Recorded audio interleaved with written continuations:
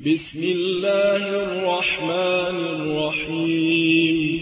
يسر موقع أنا السلفي أن يقدم لكم هذه المادة.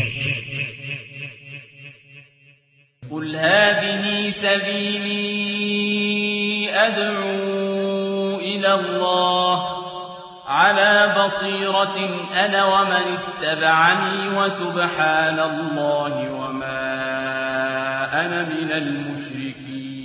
إن الحمد لله نحمده ونستعينه ونستغفره ونعوذ بالله من شرور أنفسنا ومن سيئات أعمالنا من يهدي الله فهو المهتد ومن يضلل فلا هادي له وأشهد أن لا إله إلا الله وحده لا شريك له وأشهد أن محمدا عبده ورسوله اللهم صل على محمد النبي وأزواجه أمهات المؤمنين وذريته وأهل بيته كما صليت على آل إبراهيم إنك حميد مجيد أما بعد فكنا عرضنا الأسبوع الماضي إلى معنى بيع المرابحة وذكرنا أن بيع المرابحة عند القدماء هو بيع السلعة بثمنها المعلوم بين المتعاقدين بربح معلوم بينهما.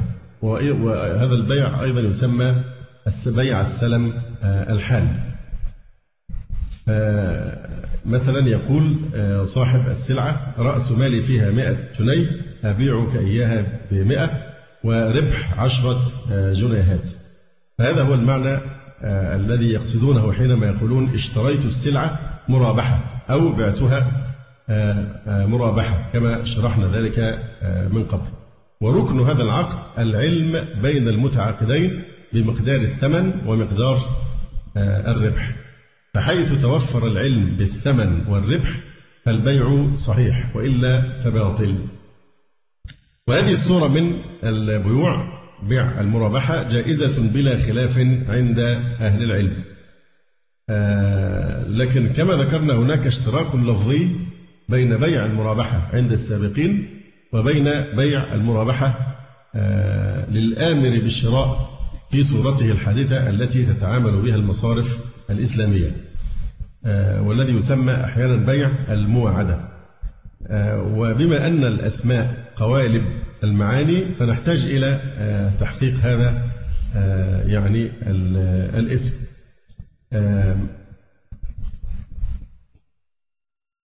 طبعا بعض المحققين اختاروا لهذا النوع من التعامل اللي هو البيع المرابحة للآمر بالشراء الذي تجريه المصارف الإسلامية في هذا العصر. اختاروا له اسم بيع الموعدة. لأنها في جميع صورها مبنية على الوعد ملتزما به هذا الوعد أو غير ملتزم به. وقامت طريقة بيع المرابحة في بعض البنوك الإسلامية في السنوات المتأخرة مقام الإقراض الربوي في البنوك الربوية. حلت محل الإقراض الربوي بقى موجود مكانها بيع المرابحة. ووصل التعامل على أساسها في بعض البنوك الإسلامية إلى نسبة 90% من عمليات الاستثمار. وهذا يعني يؤكد ضرورة التأني والبحث العميق والمحايد عن حكمها شرعا قبل الانطلاق في العمل بها لأنها إذا شاعت سيكون التراجع عنها يعني سريعا. وبالحقيقة هي شاعت الآن بصورة كبيرة جدا. فبالنسبة للوعد لا شك أن الوفاء بالوعد أو بالعهد أمر محمود وأن إخلاف الوعد أو العهد وعدم الوفاء به مذموم والأدلة في هذا يعني كثيرة. أما الوعد المالي فإن العلماء يجرون الخلاف في حكم الوفاء به قضاء باعتبار أن العدة هي وعد بالمعروف. يعني إخبار عن إنشاء المخبر معروفا في المستقبل. هناك فرق بين الوعد بالمعروف وبين بيع الموعدة. الوعد بالمعروف بتكون من صورة صور الإرفاق. يعني مش كسب تجاري. زي مثلا واحد يوعده بأنه سوف يقرضه. يعد العبد بأنه سوف يعتقه أو يهبه أو يتصدق عليه. أو يعيره عاريا فالوعد بالمعروف مبني على الإحسان والارتفاق بين الناس. أما بيع الموعدة فهو وعد تجاري وعد تجاري مع آه، المصرف.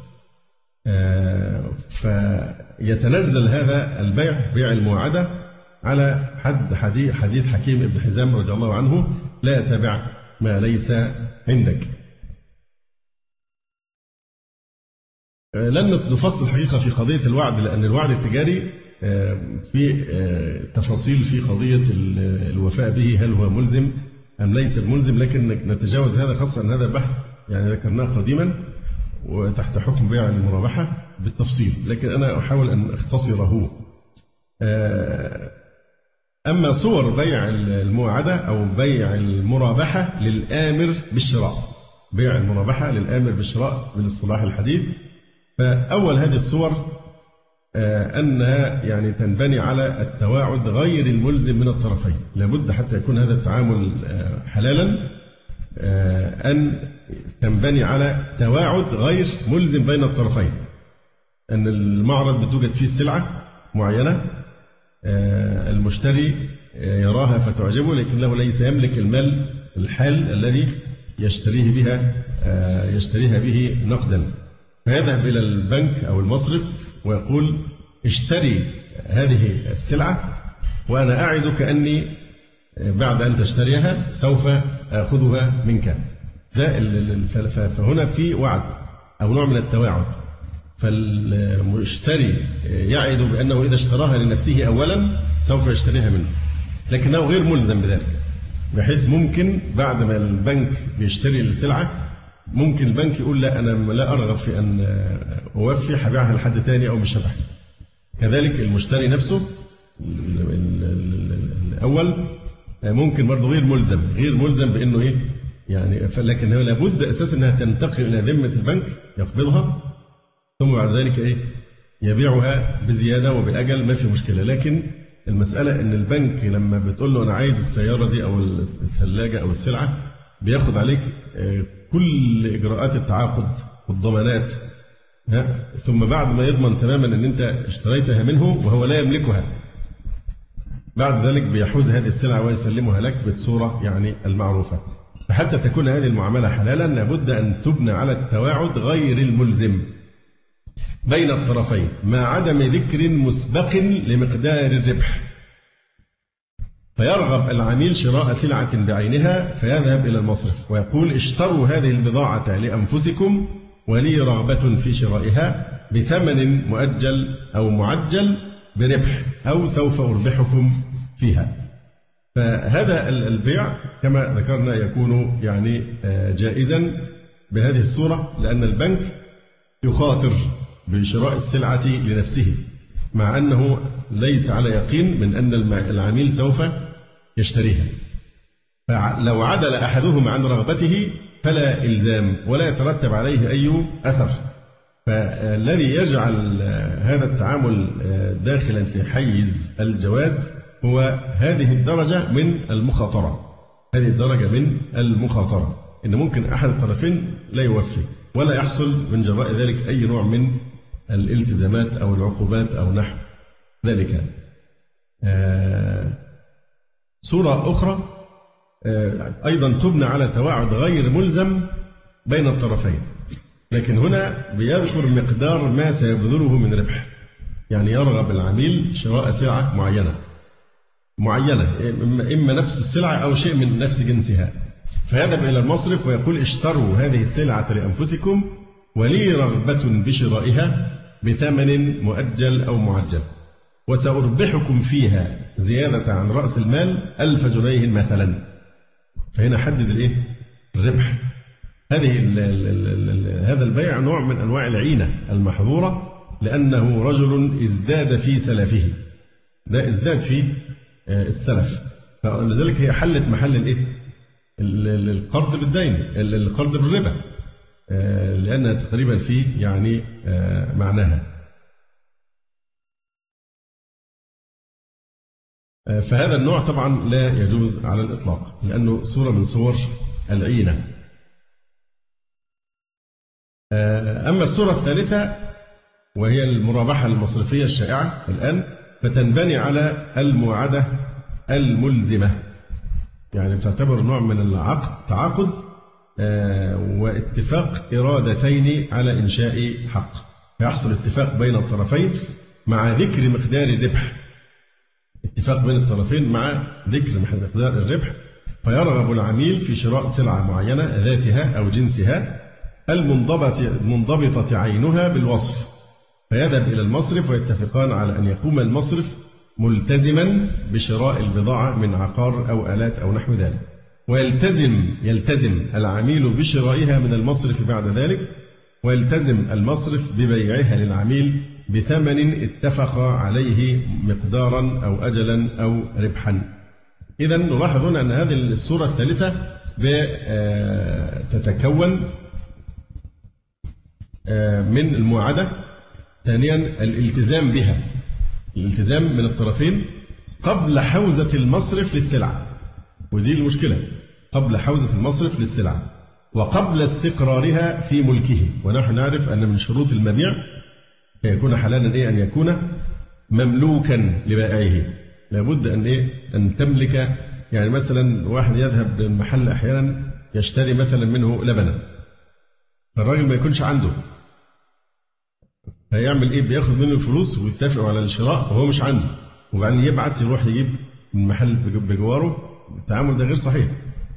داخل في بيع ما ليس عندك. ممكن تفضل آه، قاعد ما تشتريش وما تعملش عقد معاه.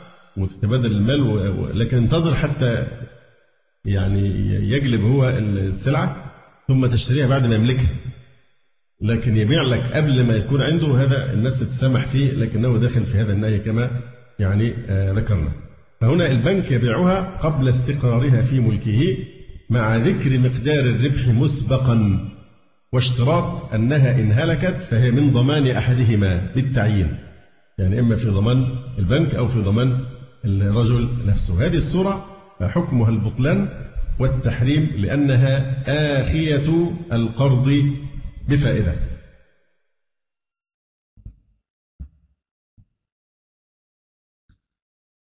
وكما ذكرنا أن العبرة أو كما هو معلوم أن العبرة في العقود بالمعاني لا بالألفاظ والمباني. فهذه المعاملة حقيقتها عقد بيع على سلعة مقدرة التملك. مش مملوكة. لابد أن الشيء عشان تبيعه لابد أولا أن يكون مملوكا لبائعه. فهنا أول مشكلة في هذا التعاقد أنه عقد بيع على سلعة مقدرة التملك للمصرف بثمن مربح قبل أن يملك المصرف السلعة ملكا حقيقيا وتستقر في ملكه. فالبيع هنا بيع معلق. البيع بيع معلق لأن المشتري بيقول للبنك إيه؟ إن اشتريتموها اشتريتها منكم. فمعلق على هذا الشرط. آه الأمر الثاني هناك آه عموم آه الأحاديث النبوية التي نصت على النهي عن بيع الإنسان ما ليس عنده. فالبنك هنا يبيع للعميل ما لا يملك وقد نهي عن بيع ما لم يقبض. لابد يملكه ويقبضه ثم بعد ذلك إيه؟ يبيع لغيره. فحديث حكيم بن حزام رضي الله تعالى عنه قال قلت يا رسول الله يأتيني الرجل فيسألني المبيع لما فيسألني آه، البيع لما ليس عندي فأبيعه منه ثم أبتعه من السوق. فقال صلى الله عليه وسلم لا تبع ما ليس عندك. وعلة التحريم هنا الغرر في القدرة على التسليم وقت العقد. لأنه آه، لماذا يشترط أن يكون مملوكا لبيعه؟ حتى يستطيع أن يسلمه آه، أو القدرة على التسليم كما يعني ذكرنا من قبله. وعن ابن عمر رضي الله عنهما أن رسول الله صلى الله عليه وسلم قال لا يحل سلف وبيع ولا شرطان في بيع ولا ربح ما لم يضمن ولا بيع ما ليس عندك.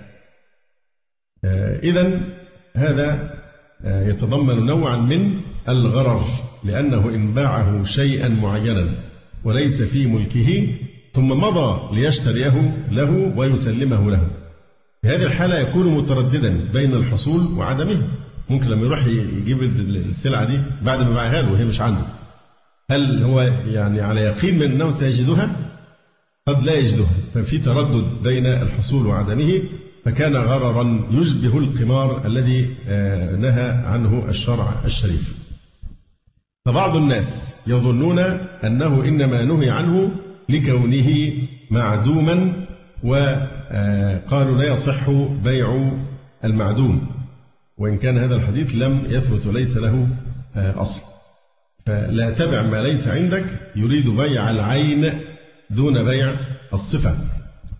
آه، بيع الصفة بيحصل فين؟ في السلم. في السلم نعم.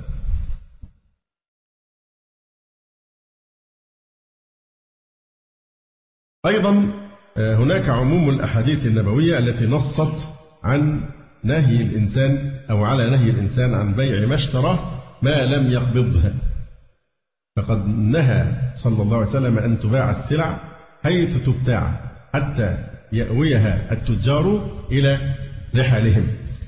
وقد صحت الأحاديث في هذا منها حديث ابن عمر رضي الله عنهما أن رسول الله صلى الله عليه وسلم قال من ابتاع طعاما فلا يبيعه حتى يستوفيه.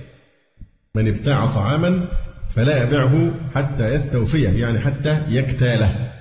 يستلم به عن طريق الكيل على أي الأحوال لا يجوز شيء بيع شيء من المبيعات قبل قبضه بحال. صحيح الحديث نص على الطعام لكن يفيد العموم لماذا؟ لأن الطعام هنا خرج مخرج الغالب.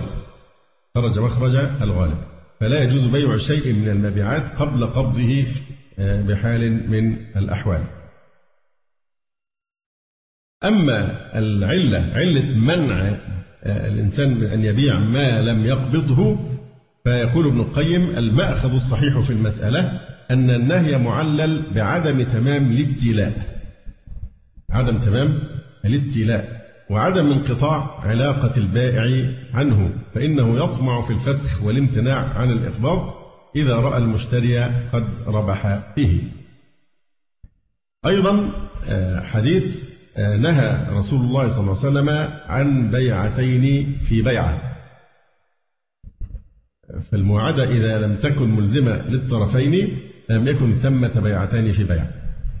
واضح فعشان نخرج من مخالفة الحديث الذي نهى عن بيعتين في بيعة ففي هذه الحالة آه، بأن المخرج هو؟ أن تكون المواعدة غير ملزمة للطرفين.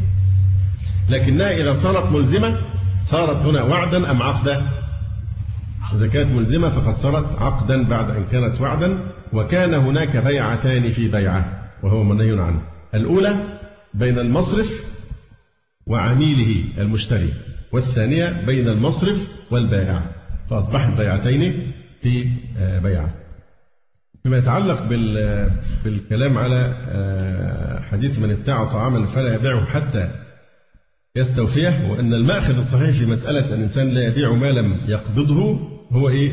أن النهي معلل بعدم تمام الاستيلاء الاستيلاء الامتلاك القدرة على التسليم فالنصوص إذا كانت صريحة صحيحة عن النبي صلى الله عليه وسلم في النهي عن بيع ما لم يقبض وأنه على عمومه وإذا كانت العلة هي عدم تمام الاستيلاء والاستقرار في ملك المشتري فكيف يجوز للمصرف أن يبيع ما لم يملك أصلا ويصافق ويربح فيه إذا الملك هنا المصرف أو البنك بيعمل عقد على إيه؟ على أساس أن ملكه هل ملكه للسلع حقيقي أم تقديري؟ تقديري ليس حقيقي. فالملك البنك هنا تقديري لا حقيقي واستيلاؤه عليه أيضا تقديري لا حقيقي. فالمنع من هذا يكون من باب الأولى والله تعالى أعلم.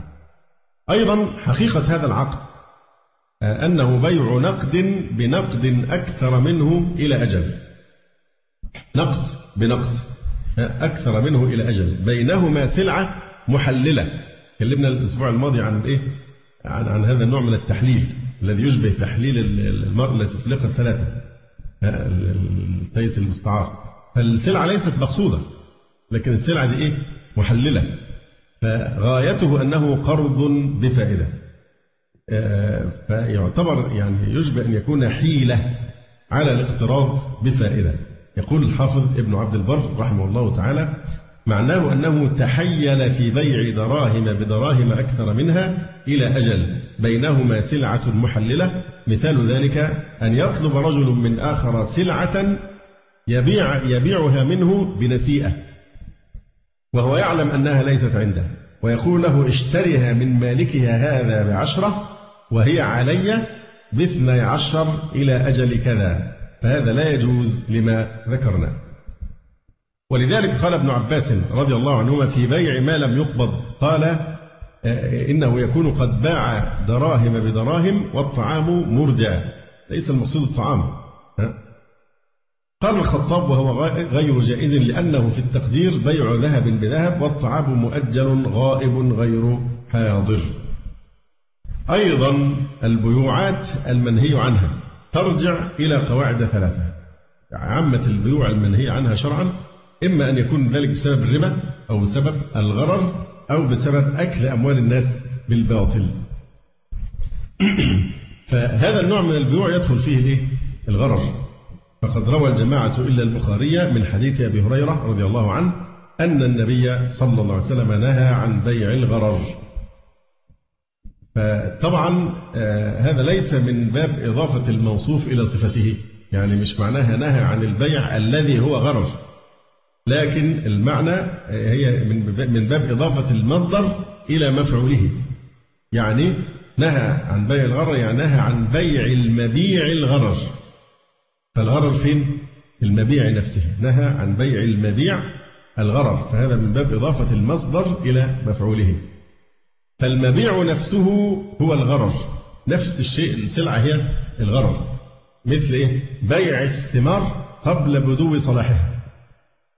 هذا غرر؟ الغرر فين هنا؟ في المبيع نفسه في الثمرة نفسها. الثمرة لما تنضج ومش ضامنين أنها هتكمل النمو يعني آه كذلك مثل بيع ما لا يملكه. واضح؟ أنواع المعدوم أنواع المعدوم أولا في معدوم موصوف في الذمة.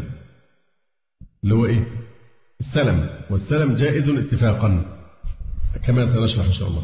النوع الثاني معدوم تبع للموجود مثل بيع الثمار بعد بدو صلاحها. هي معدومة لسه لكنها تابعة لشيء موجود نفس الثمرة بدا صلاحها. فهذا أيضا بيع إيه؟ جائز اتفاقا. جائز اتفاقا. كذلك يبقى معدوم موصوف في الذمة وهو السلم وهذا جائز اتفاقا معدوم تبع للموجود مثل بيع الثمار بعد بدو صلاحها. هذا جائز اتفاقا النوع الثالث من المعدوم معدوم لا يدرى أيحصل أو لا يحصل ولا ثقة لبائعه بحصوله بل يكون المشتري منه على خطر. فهذا الذي منع الشارع بيعه لا لكونه معدوما بل لكونه غررا. فإن البائع إذا باع ما ليس في ملكه ولا له قدرة على تسليمه ليذهب ويحصله ثم يسلمه المشتري كان ذلك شبيها بالخمار والمخاطرة من غير حاجة بهما إلى هذا العقد ولا تتوقف مصلحتهما عليه. أيضا بيع المرابحة. آه، الملزم يفضي إلى بيع مؤجل البدلين. بيع المرابحة اللي هو بيكون فيه إلزام يفضي إلى بيع مؤجل البدلين إزاي مؤجل البدلين هل المصرف يسلم السلعة في الحال يبقى أول شيء يبقى هنا إيه؟ البدل الأول اللي هو السلعة غير موجود عند التعاقد. فلا المصرف يسلم السلعة في الحال عند التعاقد مع البنك ولا العميل يسلم الثمن. ولا العميل يسلم الثمن. لماذا؟ لأن هو هيبيعها له بإيه؟ بأجل دين واضح ولا مش واضح؟ يعني الفلوس موجودة ولا السلعة موجودة في التعاقد ده فالسلعة مش موجودة عند المصرف وبيبيعها هو لم يمتلكها والبديل اللي هو المقابل اللي هو الثمن العميل لا يعني لا يسلم الثمن لماذا؟ لأن أصلا هو لم يلجأ إلى هذا النوع من البيع إلا عشان يفر من السداد الفوري عشان تبقى مؤجلة بزيادة فإذا هذا البيع بيع المرابحة في الصورة دي مع الإلزام يفضي إلى بيع مؤجل البدلين ها اللي هو بيسموه بيع الإيه؟ الكالئ بالكالئ أو بيع الدين بالدين فالسلعة دين والفلوس كمان إيه؟ دين وهذا منهي عنه فلا المصرف فهذا يفضي إلى بيع مؤجل البدلين فلا المصرف يسلم السلعة في الحال عند تعاقده مع البنك ولا العميل يسلم الثمن وإلا لم يلجأ إلى هذا البيع ابتداء. وهذا ابتداء الدين بالدين أو الكالئ بالكالئ. بمعنى أن السلعة دين والثمن دين. وهذا أجمع الفقهاء على النهي عنه مع ضعف الحديث الوارد فيه. مع أن حديث النهي عن بيع الكالئ بالكالئ ضعيف لكن معناه الفقهاء متفقون عليه. إلا أن يجتمع الثلاثة إلا أن يجتمع الثلاثة المصرف والمشتري والبائع. أو ممثل عن كل واحد منهم في مجلس واحد. فيدفع المصرف الثمن النقدي إلى البائع. ويسجل الثمن المؤجل بذمة المشتري. فهذا ربا واضح بتواطؤ الثلاثة. يعني ما فرقتش غير إن في واسطة في النص بتدفع الفلوس. لكن هي انتهت بإيه؟ إن البنك بي كأنه يعني يسلفه مثلا 20000 بإيه؟ ب 30 أو ب 25000 بالضبط كده ف فيقول له مثلا أشتريه منك المشتري اللي هو يقول للمصرف يعني أو أقصد إن المشتري بيقول له أشتريها منك لأجل ب 500 للمصرف فالمصرف بيسجل الايه؟ الثمن بذمة المشتري. وبعدين المصرف يدفع الثمن نقدا لمين؟ للبائع اللي هو صاحب المعرض طيب إيه الفرق بين الصورة اللي بتحصل دي وبين إذا ما قال للمصرف مباشرة أقرضني 400 واسددها لك إلى أجل ب 500 لكن الفرق إن هو دفعها له فورا للثاني فكأنه دفعها له هو. واضح؟ فدي البيع الكالئ بالكالئ كما يعني آه ذكرنا. اذا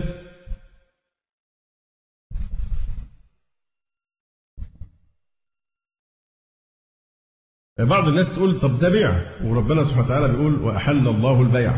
فدي تدخل في عموم البيع. آه نقول البيع اللي هو حلال إما أن يكون مقايضه عينا بعين وإما أن يكون صرفا اللي هو ثمن بثمن وإما أن يكون السلم اللي هو ثمن بإيه؟ بعين وإما أن يكون عين بثمن اللي هو البيع المطلق اللي إحنا كلنا الغالب على الناس حالا أو مؤجلا. فهذا البيع يشمل المرابحة اللي هي عين بثمن لكن يشمل المرابحة بإيه؟ باصطلاح السلف اللي بدأنا الكلام به المرابحة باصطلاح السلف وليس باصطلاح يعني المتأخرين. إذا الضوابط الكلية التي تجعل بيع المواعدة اللي هو بيع المرابحة للآمر بالشراء كما تجري المصارف الإسلامية في دائرة الجواز هي أولا خلوها من الالتزام بإتمام البيع كتابة أو مشافهة قبل الحصول على العين بالتملك والقبض لازم تخلو من عملية الإيه؟ الالتزام من الطرفين. ثانيا خلوها من الالتزام بضمان هلاك السلعة أو تضررها من أحد الطرفين اللي هو العميل أو المصرف. بل هي على الأصل من ضمان المصرف.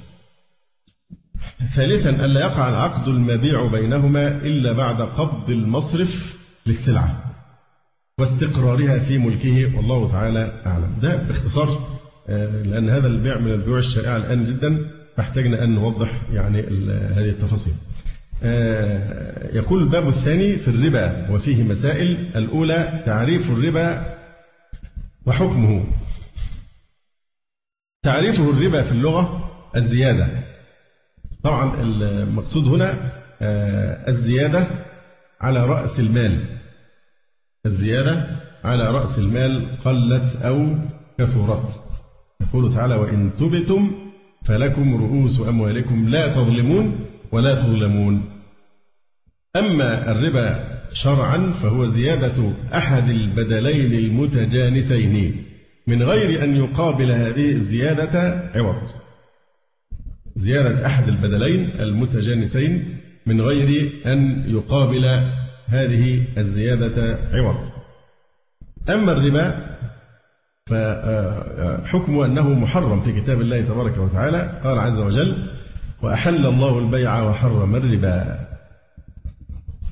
وقال عز وجل يا أيها الذين آمنوا اتقوا الله وذروا ما بقي من الربا إن كنتم مؤمنين. أيضا حتى في التوراة والإنجيل الربا محرم. وتوعد الله سبحانه وتعالى المتعامل بالربا بأشد الوعيد. فقال تعالى الذين يأكلون الربا لا يقومون إلا كما يقوم الذي يتخبطه الشيطان من المس. أي لا يقومون من قبورهم عند البعث إلا كقيام المصروع حالة صرعه وذلك لتضخم بطونهم بسبب أكلهم الربا في الدنيا. وعده رسول الله صلى الله عليه وسلم من الكبائر كما في الحديث سبع الموبقات من السبع الموبقات أكل الربا. ولعن كل المتعاملين بالربا على أي حال كانوا فعن جابر رضي الله عنه قال لعن رسول الله صلى الله عليه وسلم آكل الربا وموكله وكاتبه وشاهديه وقال هم سواء وهذا رواه مسلم. وقد أجمعت الأمة على تحريمه. في الحقيقة قضية الربا يعني آه، هناك دراسة مهمة جدا في باب الربا آه، دراسة آه، رائعة ووافية ومفيدة وهي الكتاب مبارك للدكتور فضل إلهي ظهير. التدابير الواقية من الربا في الإسلام من أحسن الكتب في هذا الباب لأنه بينظر للقضية بنظرة يعني شاملة وملتزم بالأدلة الصحيحة و يعني ضوابط الفقه فكتاب رائع جدا من الكتب المهمة. والحقيقة غالب كتب يعني الأصل في كتب الدكتور فضل إلهي أنها كتب مباركة وسلسة وعميقة في نفس الوقت. التدابير الواقية من الربا في الإسلام. أما الحكمة في تحريمه فالتعامل بالربا يحمل على حب الذات الأنانية والتكالب على جمع الأموال وتحصيلها من غير الطرق المشروعة.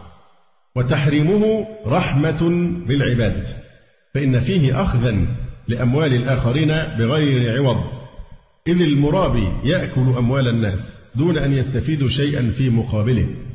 كما أنه يؤدي إلى تضخم الأموال وزيادتها على حساب سلب أموال الفقراء. ويعود المرابي الكسل والخمول والابتعاد, والابتعاد عن الاشتغال بالمكاسب المباحة النافعة. فالربا يعمل على خلق طبقة طفيلية. طبقة طفيلية تنمو على حساب غيرها. هذه الطبقة مترفة لا تعمل شيئا فتتضخم الأموال في يديها دون جهد مبذول.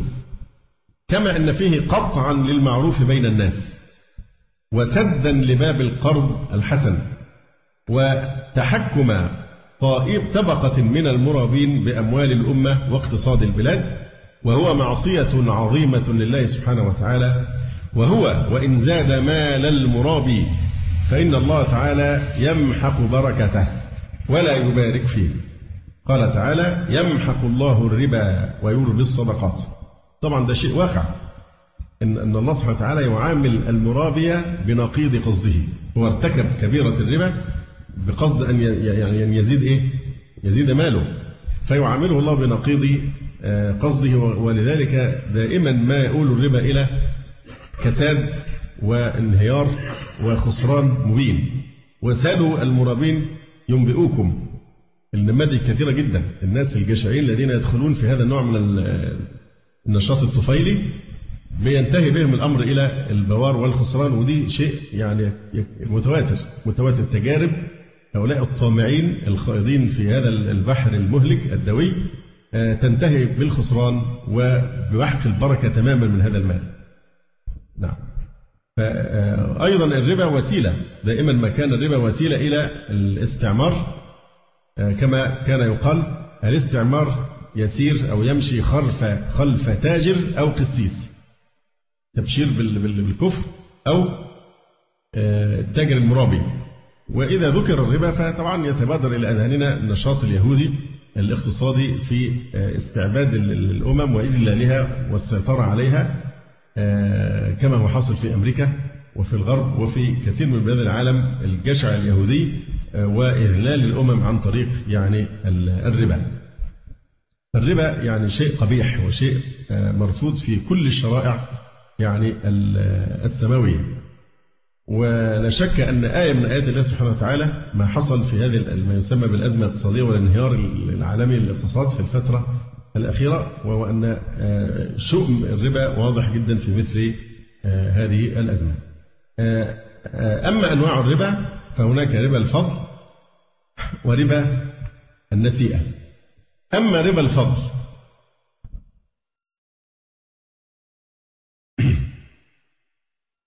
فهو بيع الجنس الواحد مما يجري فيه الربا بجنسه متفاضلا.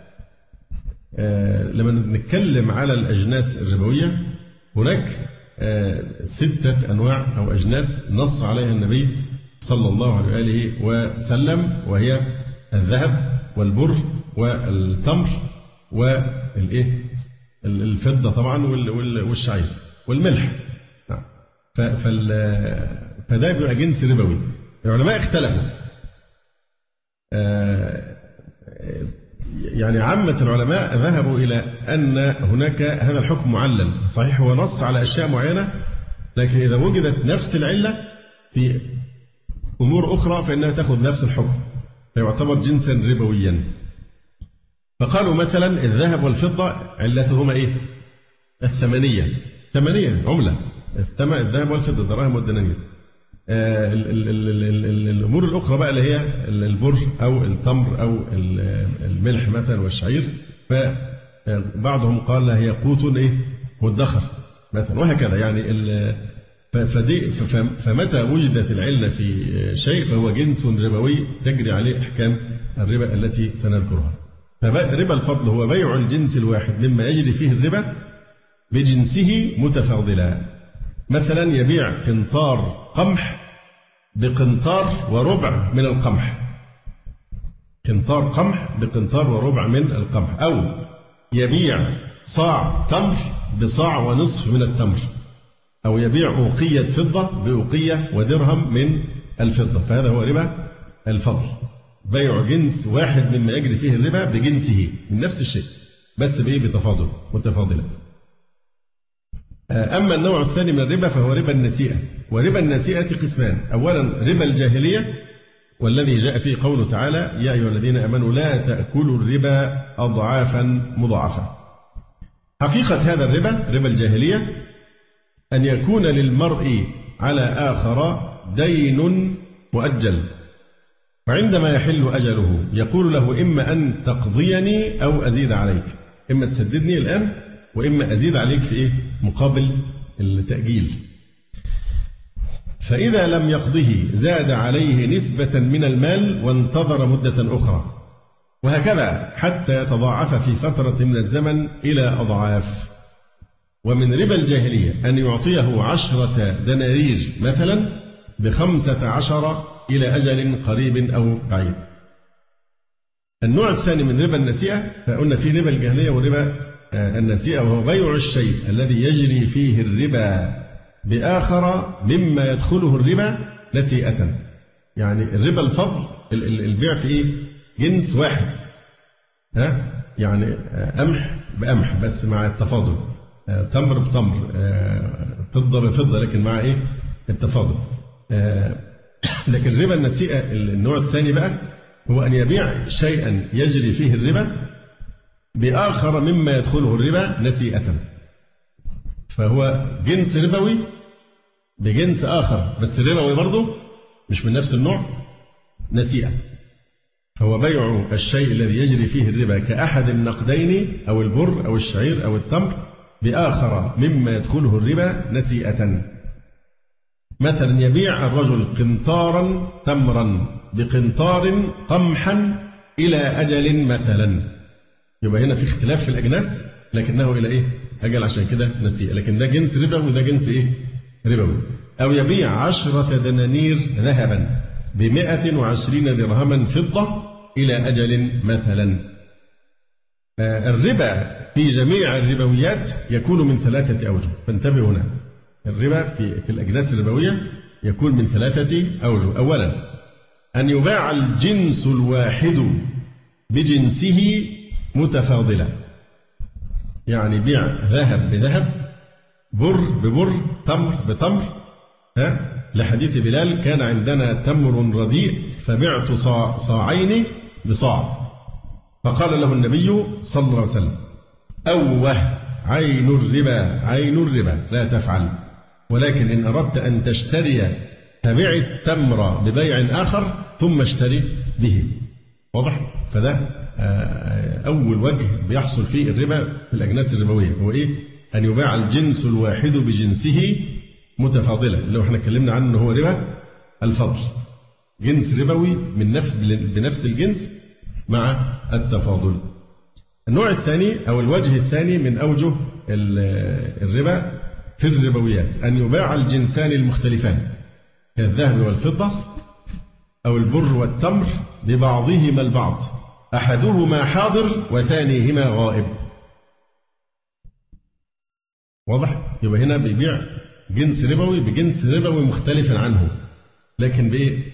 ببعضهما البعض واحد منهم حاضر والآخر غائب. دي صورة أخرى من صور الربا. لحديث الرسول صلى الله عليه وسلم قال لا تبيع منها غائبا بناجز. حاضر. لا تبيع منها غائبا؟ بناجز. ولحديث أيضا بيع الذهب بالفضة يدا بيد. بيع الذهب بالفضة يدا بيد. ولحديث الذهب بالورق ربا إلا هاء وهاء. يعني إيه؟ يدا بيد. مناجزة الوجه الثالث من الربا أن يباع الجنس بجنسه متساويا ولكن أحدهما غائب نسيئة. أن يباع الجنس بجنسه متساويا مش بتفاضل بقى لكن أحدهما غائب نسيئة. كأن يباع الذهب بالذهب أو التمر بالتمر مثلا بمثل متساويا غير أن أحدهما غائب. لحديث البر بالبر ربا إلا هاء وهاء. لكن آه، يعني بناء على هذا آه، نقول إنه لا ربا مع الحلول واختلاف الأجناس. إذا اختلفت الأجناس الربوية وتم البيع حالا بدون تأجيل فهذا ليس فيه ربا. فلا يدخل الربا بيعا اختلف فيه الثمن والمثمن إلا أن يكون أحدهما نسيئة وهو غير النقدين فيجوز بيع الذهب بالذهب متفاضلا وبيع البر بالتمر أو الملح بالشعير متفاضلا إذا كان إيه؟ يدا بيد في الحال. أي لم يكن أحدهما نسيئا الحديث إذا اختلفت هذه الأشياء فبيعوا كيف شئتم إذا كان يدا بيد. أيضا لا يجري الربا في مثل الفواكه والخضروات لأنها لا تدخر من جهة. ولم تكن في الزمن الأول مما يكال أو يوزن من جهة أخرى كما أنها ليست من الأغذية الأساسية كالحبوب والثمار واللحوم الوارد فيها النص الصريح عن النبي صلى الله عليه وسلم. آه، بعد هذا التقديم نستعرض كلام المصنف هنا في أنواع الربا.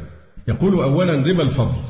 هو الزيادة في أحد البدلين الربويين المتفقين جنسا. مثاله أن يشتري شخص من آخر ألف صاع من القمح بألف ومائة صاع من القمح ويتقابض المتعاقدين المتعاقدان العوضين في مجلس العقد. فهذه الزيادة وهي مائة صاع من القمح لا مقابل لها وإنما هي فضل. عشان كده اسمه ربا الفضل. أما حكمه فقد حرمت الشريعة الإسلامية ربا الفضل في ستة أشياء الذهب والفضة والبر والشعير والتمر والملح. ودي بتسمى أصول الربويات. فأصول الربويات ستة الذهب والفضة البر والشعير التمر والملح. فإذا بيع واحد من هذه الأشياء الستة بجنسه حرمت الزيادة والتفاضل بينهما. لحديث أبي سعيد الخدري رضي الله عنه أن رسول الله صلى الله عليه وسلم قال الذهب بالذهب والفضة بالفضة والبر بالبر والشعير بالشعير والتمر بالتمر والملح بالملح مثلا بمثل مثلا بمثل يدا بيد فمن زاد أو استزاد فقد أربى الآخذ والمعطي سواء وهذا متفق عليه. يقاس على هذه الأشياء الستة ما شاركها في العلة فيحرم فيه التفاضل. أي شيء آخر يشارك هذه الأشياء في العلة فيحرم فيه التفاضل. فعلة الربا في هذه الأشياء الكيل والوزن. آه، طبعا الذهب والفضة مش بكال وتوزن لكن العلة إيه؟ ثمنية عملة. عملة زي مثلا دولار وجنيه أو ريال سعودي ودولار أو جنيه وهكذا. يبقى دي عملة ودي عملة. فلا بد من إذا هيحصل صرف تغيير عملة لابد أن يكون في؟ في نفس المجلس ما ينفعش يديك جزء يقول لك يبقى عليا بالليل يكون معايا الباقي لا يجوز هذا ربا فلا بد أن يكون في إيه؟ مجلس واحد آه، أما الأمور الأخرى اللي هي البر والشعير والتمر والملح علة الربا فيها الإيه؟ هي أنها إما أن تكال وإما أن توزن الكيل والوزن فيحرم التفاضل في كل مكيل وموزون. أما النوع الثاني من الربا فهو ربا النسيئة. النسيئة معناها كما قلنا التأجيل أي الربا الذي يكون بسبب التأجيل. آه، أما تعريفه فهو الزيادة في أحد العوضين. طبعا لابد أن نفهم أن الزيادة هنا زيادة المشروطة. الزيادة المشروطة. فإذا طردت من واحد شيء ورددت له بزيادة ولم تكن قد اشترطت في العقد فهذا ليس ربا الربا الحرام هو الزيادة الإيه؟ المشروطة لكن الرد بأحسن مما أخذت ده نوع من حسن الإيه؟ الاقتضاء ها؟ فإذا الربا النسيئة هو الزيادة المشروطة في أحد العوضين مقابل تأخير الدفع أو تأخير القبض في بيع كل جنسين اتفقا في علة ربا الفضل ليس أحدهما نقدا كما شرحنا.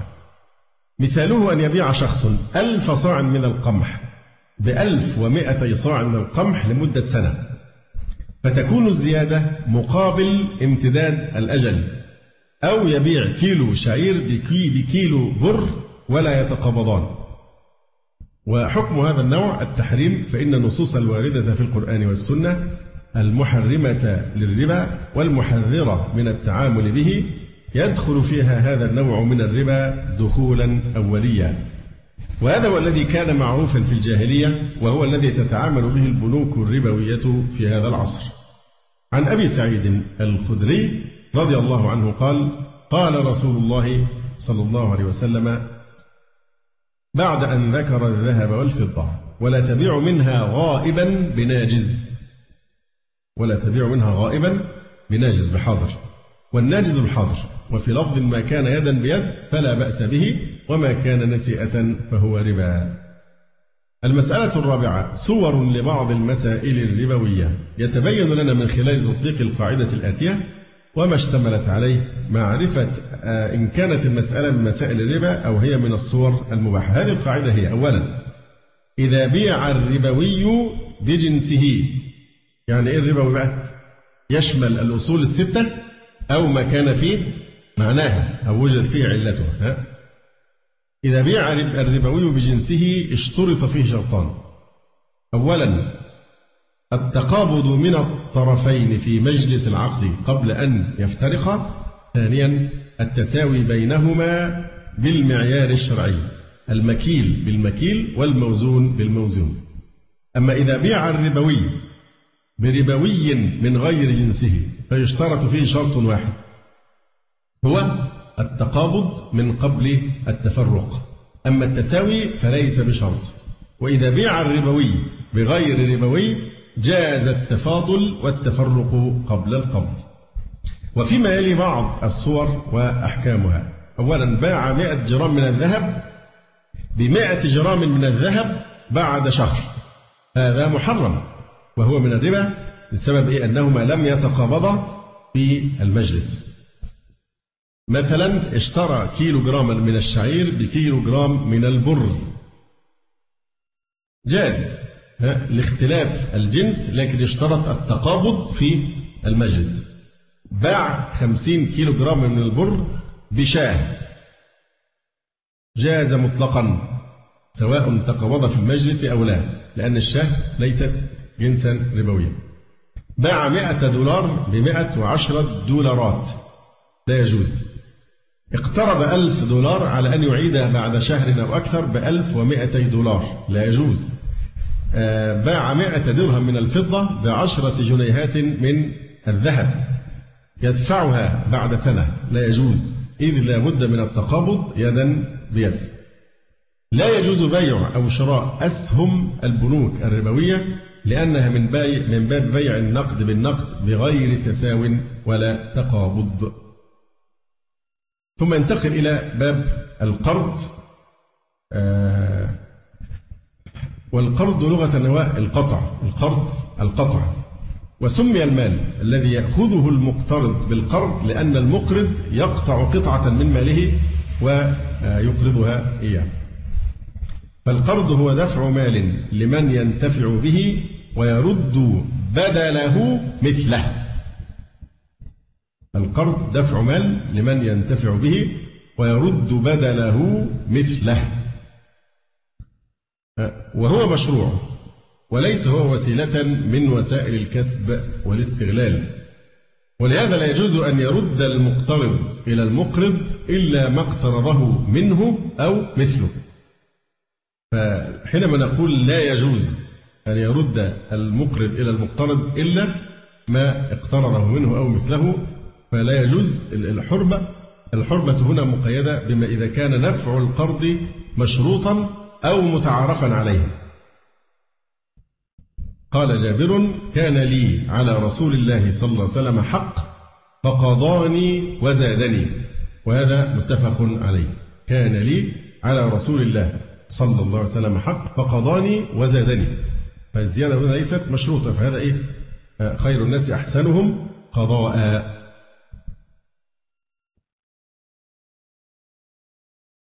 كذلك الزيادة المشروطة أو إذا كان العرف أيضا داخل فيها.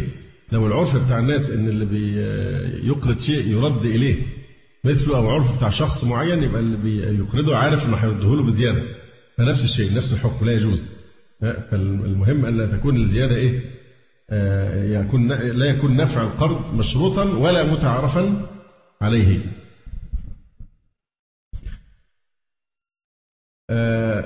وهو مشروع ويدل على مشروعيته عموم الآيات القرآنية كقوله تعالى من ذا الذي يقرض الله قرضا حسنا فاستعمال كلمة القرض الحسن هنا فيها يعني إيه بيان لمشروعية الإقراض بهذه الصورة. كذلك الأحاديث الشريفة الدالة على فضل المعاونة وقضاء حاجة المسلم وتفريج كربته وسد فاقته. وأجمع المسلمون على جواز القرض. روى أبو هريرة رضي الله عنه أن رسول الله صلى الله عليه وسلم استلف من رجل بكرا وهو الفتي من الإبل فقدمت عليه إبل الصدقة فأمر أبا رافع أن يقضي الرجل ببكره بكره الجمل فرجع عليه أبو رافع فقال لم أجد فيها إلا خيارا رباعيا أو رباعيا. خيارا يعني مختارا ورباعيا استكمل ست سنين ودخل في السبع. استكمل ست سنين من عمري ودخل في السبع. فطبعا حالته أحسن من إيه؟ من البكر.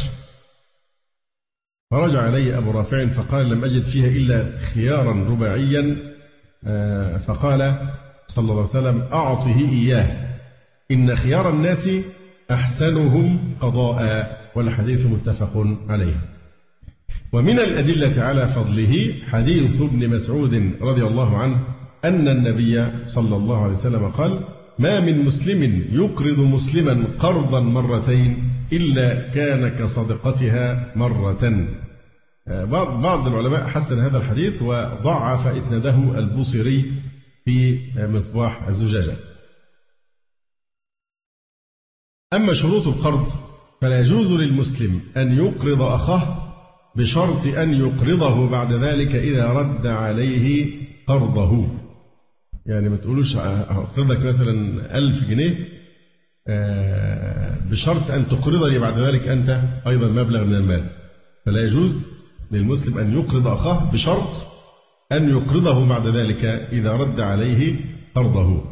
لأن المقرض في هذه الحالة اشترط نفعا وكل قرض جر منفعة فهو ربا. طبعا هذه العبارة الشائعة في كتب الفقه هي عبارة عن قاعدة فقهية صحيحة لكنها ليست بحديث مرفوع إلى النبي صلى الله عليه وسلم.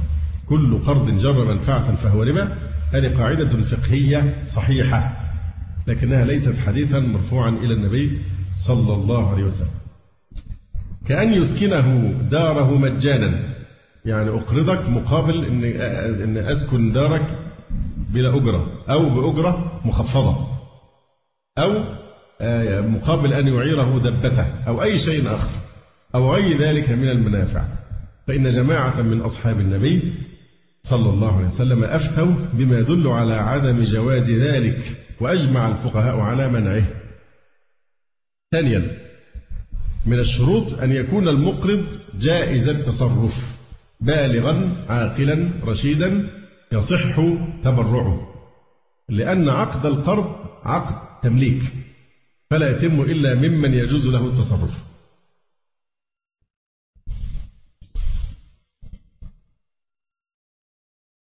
ليس للمقرض أن يشترط زيادة في ماله الذي أقرضه لأن ذلك من الربا. فلا يجوز له أخذها بل يقتصر على المبلغ الذي دفعه للمقترض أولا. إذا رد المقترض على المقرض أحسن مما أخذ منه أو أعطاه زيادة دون شرط أو قصد صح ذلك. لأنه تبرع من المقترض وحسن قضاء ويدل عليه حديث أبي رافع السابق. خامسا أن يكون المقرض مالكا لما يقرضه ولا يجوز له أن يقرض ما لا يملك. الحقيقة ذهب جمهور الفقهاء إلى أنه لا يجوز اشتراط الأجل في القرض. يعني واحد يقترض منك يبقى تقرضه لأنه تبرع محض. فبالتالي آه، لا يشترط الأجل. لكن المقرض ممكن يطالبه ببدله في أي وقت في الحال أو بعد ذلك. فذهب جمهور الفقهاء إلى أنه لا يجوز اشتراط الأجل في القرض لأنه تبرع محض. وللمقرض أن يطالب ببدله في الحال. فإذا أجل القرض إلى أجل معلوم لم يتأجل وكان حالا. وقال مالك والليث بن سعد وابن تيمية وابن قيم يجوز اشتراط الأجل ويلزم الشرط فإذا أجل القرض إلى أجل معلوم تأجل ولم يكن له حق المطالبة قبل حلول الأجل. لقوله تعالى يا أيها الذين آمنوا إذا تداينتم بدين إلى أجل مسمى فاكتبوه. ولقول النبي صلى الله عليه وآله وسلم المسلمون عند شروطهم. إذا اشترط الأجل فلا يطالبه قبل الأجل. واضح؟ من المعاملات الربوية المحرمة ما تقوم به البنوك في وقتنا الحاضر من عقد قروض بينها وبين ذوي الحاجات. فتدفع لهم مبالغ من المال نظير فائدة محددة تأخذها زيادة على مبلغ القرض أو يتفق البنك مع المقترض على قيمة القرض. ثم يدفع له البنك أقل من القيمة المتفق عليها على أن يردها المقترض كاملة مثلا يطلب المقترض من البنك مبلغ مئة ألف فيعطي له البنك ثمانين ألفا ويشترط عليه أن يردها مئة. هذا من الربا المحرم أيضا. الحقيقة أن موضوع الربا كان مناسب أن نتكلم بالتفصيل شوية على موضوع الأزمة الاقتصادية العالمية. وكيف أن الإسلام احتاط لمثل هذه الانهيار أو مثل هذا الانهيار. لكن سننظر إن بقي وقت مناسب إن شاء الله نتكلم. وإلا فنرجع إلى وقت آخر يعني. الباب الرابع في الرهن. طبعا آه، الرهن هو جعل عين مالية. وثيقة بدين ليستوفى منها أو من ثمنها إذا تعذر الوفاء. الرهن جعل عين مالية مالية يعني لها قيمة مالية في نظر الشرع. ما يرهنش خمر مثلا لأن شرعا هذا مال غير متقوم. واضح؟ فلا بد أن يكون إيه؟ جعل عين مالية لها قيمة مالية في نظر الشرع الشريف. وثيقة بدين. وثيقة بدين. يعني شيئا مستوثقا به. لماذا؟ آه لأن الدين أصبح بحبس هذه العين محكما لا بد من سداده زي الوثاق كده يقيد الإنسان به. كذلك أصبح الدين محبوس بالرهينة. فوثيقة بدين يعني شيئا مستوثقا به لأن الدين أصبح بحبس هذه العين محكما لا بد من سداده. أو تضيع على المدين العين المرهونة كلها أو بعضها بحسب ذلك الدين. بيرهن شيء يساوي قيمة آه هذا يعني الدين. بحيث إذا حل الأجل ولم يوفي ففي هذه الحالة يحكم القاضي بإيه؟ ببيعها. واستيفاء ثمنها آه ببيع ببيعها. فطبعا هنا كما أشرنا الأسبوع الماضي الاستيثاق شيء مطلوب لأن الإنسان إذا حصل الوثوق برجوع حقه إليه والضمانات فإنه يقبل على فعل المعروف مع الناس. فالاستيثاق له صور. أعلى صور الاستيثاق هي الإيه؟ الرهن. فالرهن هو أعلى مراتب الاستيثاق لأن معاه شيء بديل. إذا ما جلم الأجل وما دفعش الدين هيقدر يبيع سايب بقى عنده ذهب أي شيء له قيمة يباع. فإذا كان مساويا لقيمة الدين يباع كله. وإلا فإنه إيه؟ يستوفي منه ما يساوي قيمة دينه. طيب تاني مرتبة من مراتب الاستيثاق آه الكفالة أو الضمان. وهي عبارة عن ضم ذمة إلى ذمة. فهنا في ضمان يمكن الاستيفاء منه. إن واحد بيقول أنا أضمنه إذا أتى وقت الدين وما سددش أنا أدفع عنه. ففي هذه الحالة دي ثاني مرتبة. المرتبة الثالثة من الاستيثاق هي الإيه؟ الشهادة. والشهادة في الحقيقة هي فقط لإثبات الحق وليست لاستيفائه. الشهادة تثبت الحق لكنها ليست وسيلة يستوفى عن طريقها. هذا الحق. يروح بقى عند القاضي وإيه؟ ويشهد والله أعلم هيقضي بإيه بقى؟ لكن كما ترون الرهن ثم الكفالة ثم الشهادة هي مراتب الاستيثاق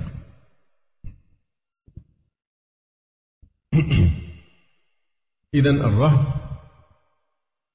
جعل عين مالية لها قيمة مالية في نظر الشرع وثيقة بدين. ليستوفى منها أو من ثمنها إذا تعذر الوفاء. طيب هذا النوع من الرهن اسمه إيه في القانون؟ حد يعرف الاصطلاح القانوني؟ الرهن الحيازي. الأصل في مشروعية الرهن قول الله تبارك وتعالى وإن كنتم على سفر ولم تجدوا كاتبا فرهان مقبوضة. فرهان مقبوضة. طيب بعض الناس قد تقول هنا قيد إن كنتم على سفر فهنا قيد الحكم بالإيه؟ بالسفر فهل هذا له مفهوم؟ ليس له مفهوم لماذا؟ لأنه خرج مخرج الغالب لأن غالب مثل هذه الحالة بتكون في حالة السفر زي مثلا لا تأكلوا الربا أضعافا مضاعفة هل هذا له مفهوم؟ ليس له مفهوم لكن الغالب إنه إيه جرى خرج مخرج الغالب أيضا. يعني بعض الملبسين والمدلسين يقولوا للناس إيه ما فيش مانع من الربا إذا كانت نسبة ضعيفة. الحرام لما يكون اضعافا إيه مضاعفة.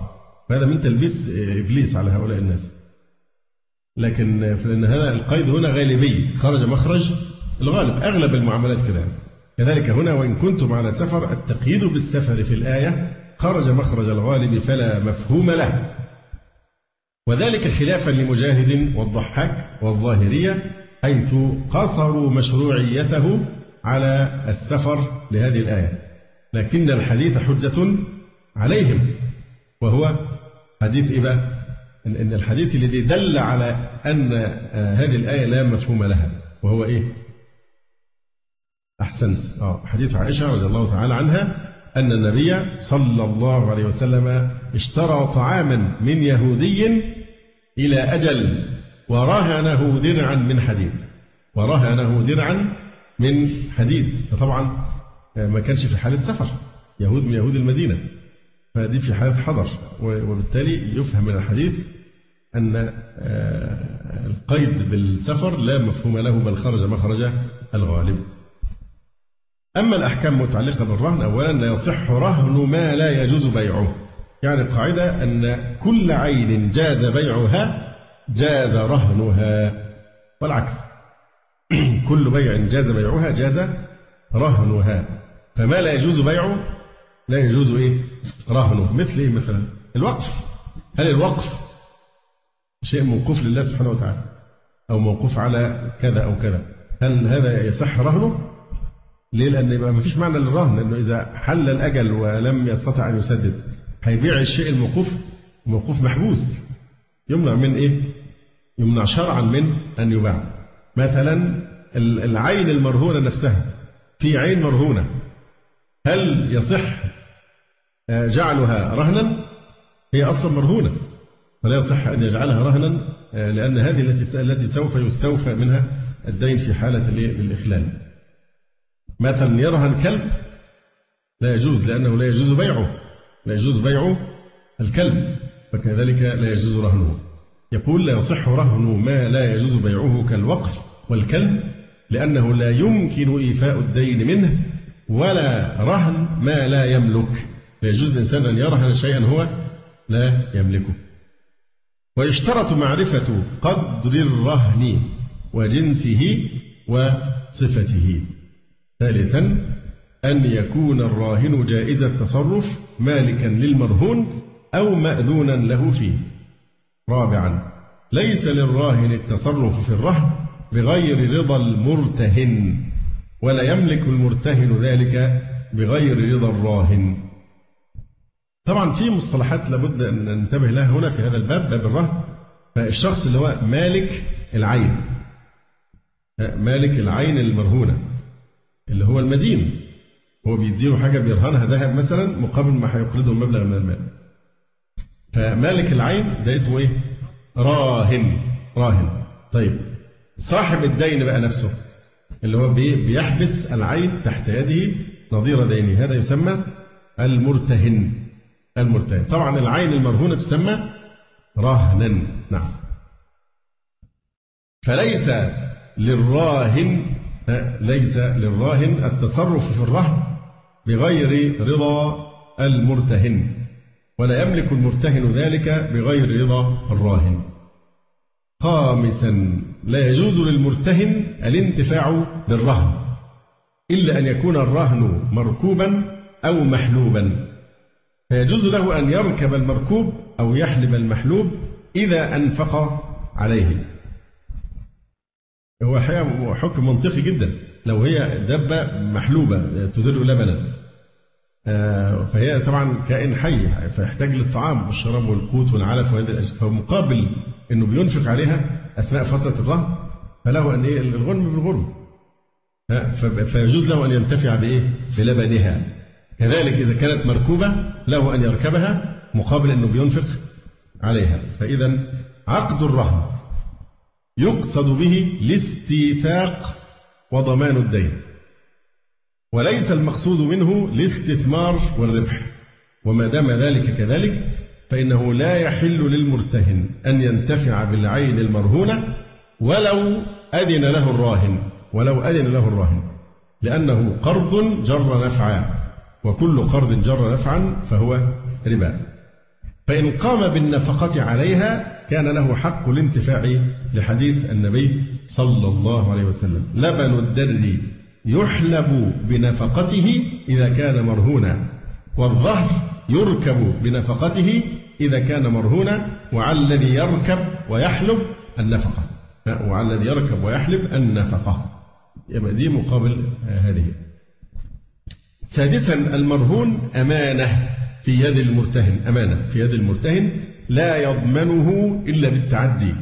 فإذا حل الدين الذي به رهن وجب على المدين سداده. فإذا امتنع أجبره الحاكم. ودي نقطة مهمة جدا هو مش بيبيعها بنفسه. شوف دقة الفقهاء. إذا امتنع من السداد يبقى بيرجع للإيه؟ للحاكم. واضح؟ آه فإذا امتنع أجبره الحاكم. فإذا امتنع حبسه وعزره حتى يوفي ما عليه من الدين أو يبيع الرهن ويسدد من قيمته.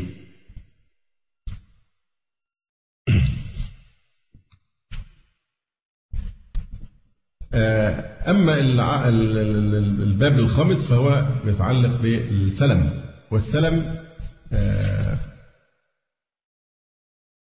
أيضا يقول هنا في تعريفه السلم والسلف بمعنى واحد. السلم والسلف.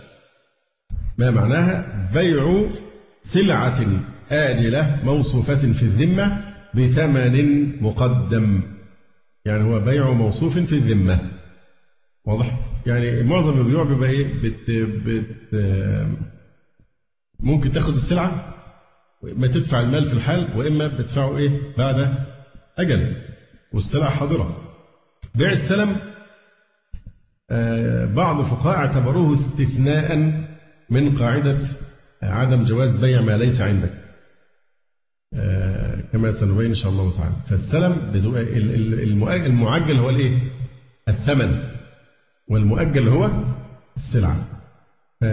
طيب لما السلعة غير موجودة والمفروض إن إحنا يكون المبيع من ضمن شروط المبيع إيه؟ معلوما. مش قلنا خمسة ميم وطاهرا. طهر ف يعني طاهرا منتفعا به مملوكا لبيعه مقدورا على تسليمه إلى آخره. فال السلعة غير موجودة. طب وإزاي العقد يصح والسلعة نحن لا نراها؟ بالوصف. لابد من ضبط صفاتها بمنتهى الدقة. ضبط الصفات ها؟ فإذا آه، هو بيع موصوف في الذمة. فالدين هنا عبارة عن إيه؟ الدين هو السلعه نفسها والثمن بيكون يدفع كله آه، عاجلا. يقول بيع سلعة آجلة. السلعة هي الآجلة متأجلة. موصوفة في الذمة ما تكونش عينا مش موجودة. بثمن مقدم. تعريف آخر هو أن يسلم عوضا حاضرا في عوض موصوف في الذمة إلى أجل. هذا نوع من البيع ينعقد بما ينعقد به البيع ويعتبر فيه من الشروط ما يعتبر في البيع. وهو جائز بالكتاب. دخول في عموم قوله تعالى يا أيها الذين آمنوا إذا تداينتم بدين إلى أجل مسمى فاكتبوه. أن هذا دين. ولفظ الدين يصلح للسلم ويشمله بعمومه أيضا آه، السنة دلت على مشروعيته كما جاء عن ابن عباس رضي الله عنهما قال قدم رسول الله صلى الله عليه وسلم المدينة وهم يسلفون في الثمار السنة والسنتين. السنة والسنتين. فقال صلى الله عليه وسلم من أسلف فليسلف في كيل معلوم ووزن معلوم إلى أجل معلوم. وهذا متفق عليه. أما الإجماع فقد قال ابن المنذر رحمه الله تعالى أجمع كل من نحفظ عنه من أهل العلم على أن السلم جائز. أجمع كل من نحفظ عنه من أهل العلم على أن السلم جائز. أيضا هناك استدلال بالاعتبار أو بالعقل. وذلك لأن المثمن في المبيع السلعة أحد عوضي العقد. فجاز أن يثبت في الذمة كالثمن. كما يجوز أن الثمن هو اللي يتأجل والسلعة تكون حاضرة. ما الذي يمنع العكس؟ أن الثمن يكون آه، مقدما والسلعة هي الغائبة. ولأن بالناس حاجة إليه. فحصل استثناء من بيع ما ليس عندك هنا توسعة على الناس. لماذا؟ لأن أرباب الزروع عشان كده بيسموه ساعات إيه؟ بيع الإيه؟ المحاويج. بيع المحاويج. كلا الطرفين محتاج.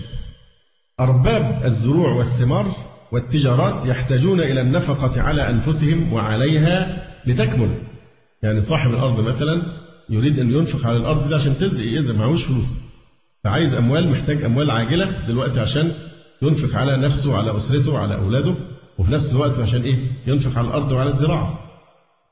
فأصحاب الزروع والثمار والتجارات يحتاجون إلى النفقة عليها وعلى أنفسهم لتكمل. وقد تعوزهم النفقة. آه وفي نفس الوقت صاحب ال ال ال الشخص اللي هو المشتري بقى مشتري السلعة أو الزروع أو كذا محتاج لها في الوقت اللي هيحدده الأجل بسعر أرخص. لأنه أكيد لما بيدفع مقدما بيكون السعر إيه؟ أقل من سعرها في الموسم لما تحصد. فهو هنا في منفعة له برضه إنه ساعتها يضمن إنه هيشتريها بسعر إيه؟ أقل. ومحتاج للسلعة دي في هذا الوقت. فإذا جوز لهم السلم ليرتفقوا. في تبادل منفعة. ويرتفق المسلم بالاسترخاص. انتبهوا جيدا في فقه السلم. في مصطلح مهم جدا انتبهوا إليه أو أو المصطلحات هذا التعامل. يعني الشخص المشتري بيسموه إيه؟ المسلم. ساعات بعض الناس بيلخبطوا الدنيا. بيختار بكلمة المسلم يعني إيه؟ ضد الكافر. لا هنا في الباب في الباب ده بالذات لازم تنتبه للمصطلحات. ها؟ فيبقى المشتري اسمه إيه؟ المسلم. اسم فاعل من أسلم. أسلم يعني أسلف. ها؟ وهذا هو رب السلم يسمى رب السلم اللي هو المشتري. اللي هو بيدفع الايه؟ الفلوس يعني. يبقى المشتري يسمى المسلم. البائع المسلم إليه. اللي هو صاحب الأرض مثلا. فده اسمه إيه؟ المسلم إليه. طيب المبيع. المسلم فيه. المسلم فيه. طب والثمن؟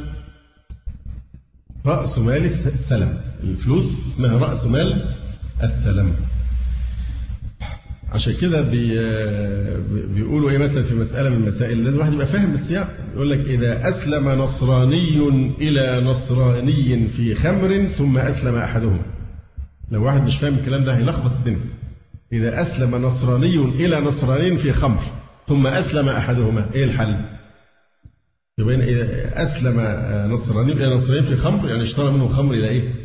بالسلم يعني. ثم أسلم أحدهما اعتنق الإسلام. فكروا فيها قبل ما يجي وقتها. ولا في حد عنده جواب؟ طيب طيب ماشي.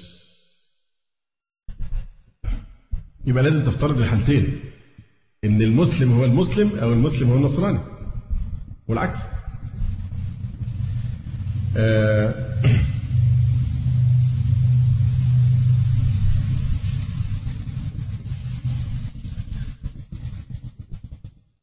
يقول الحكمة من مشروعيته وأجازته الشريعة الإسلامية توسيعا على أفرادها. فالمزارع مثلا قد لا يملك نقدا ينفقه في إصلاح أرضه وزراعته وكمان في نفقة أولاده ولا يجد من يقرضه. فيبيح له السلم حتى لا تفوته مصلحة استثمار أرضه. والسلم من البيوع الجائزة مستثنى من نهي النبي صلى الله عليه وسلم عن بيع ما ليس عندك كما ذكرنا يسمونه بيع المحاويج الاثنين محتاجين. فإن صاحب رأس المال صاحب رأس المال اللي هو مين بقى؟ المسلم المسلم. فإن صاحب رأس المال محتاج إلى أن يشتري الثمرة وصاحب الثمرة اللي هو المسلم إليه محتاج إلى ثمنها قبل إبانها لينفقها عليها. فظهر أن بيع السلم من المصالح الحاجية من المصالح الحاجية. أما شروط السلم فالسلم نوع من أنواع البيع. لذلك يشترط لصحته الشروط المتقدمة في عقد البيع.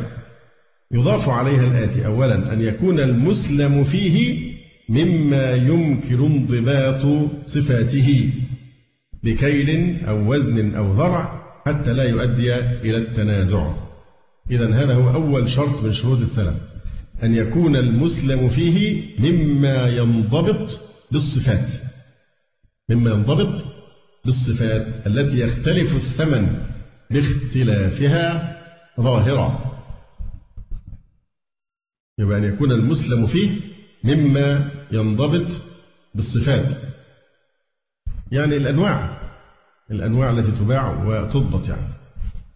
آه والمقصود إيه من ينضبط بالصفات؟ لأن الصفة هنا تقوم مقام الرؤية. السلعة لما تكون حاضرة أنت بتشوفها وبالتالي العلم بها بيبقى بالحس. أما هنا فكيف نعلم بها وهي أصلا معدومة؟ عن طريق ضبط الإيه؟ الصفات؟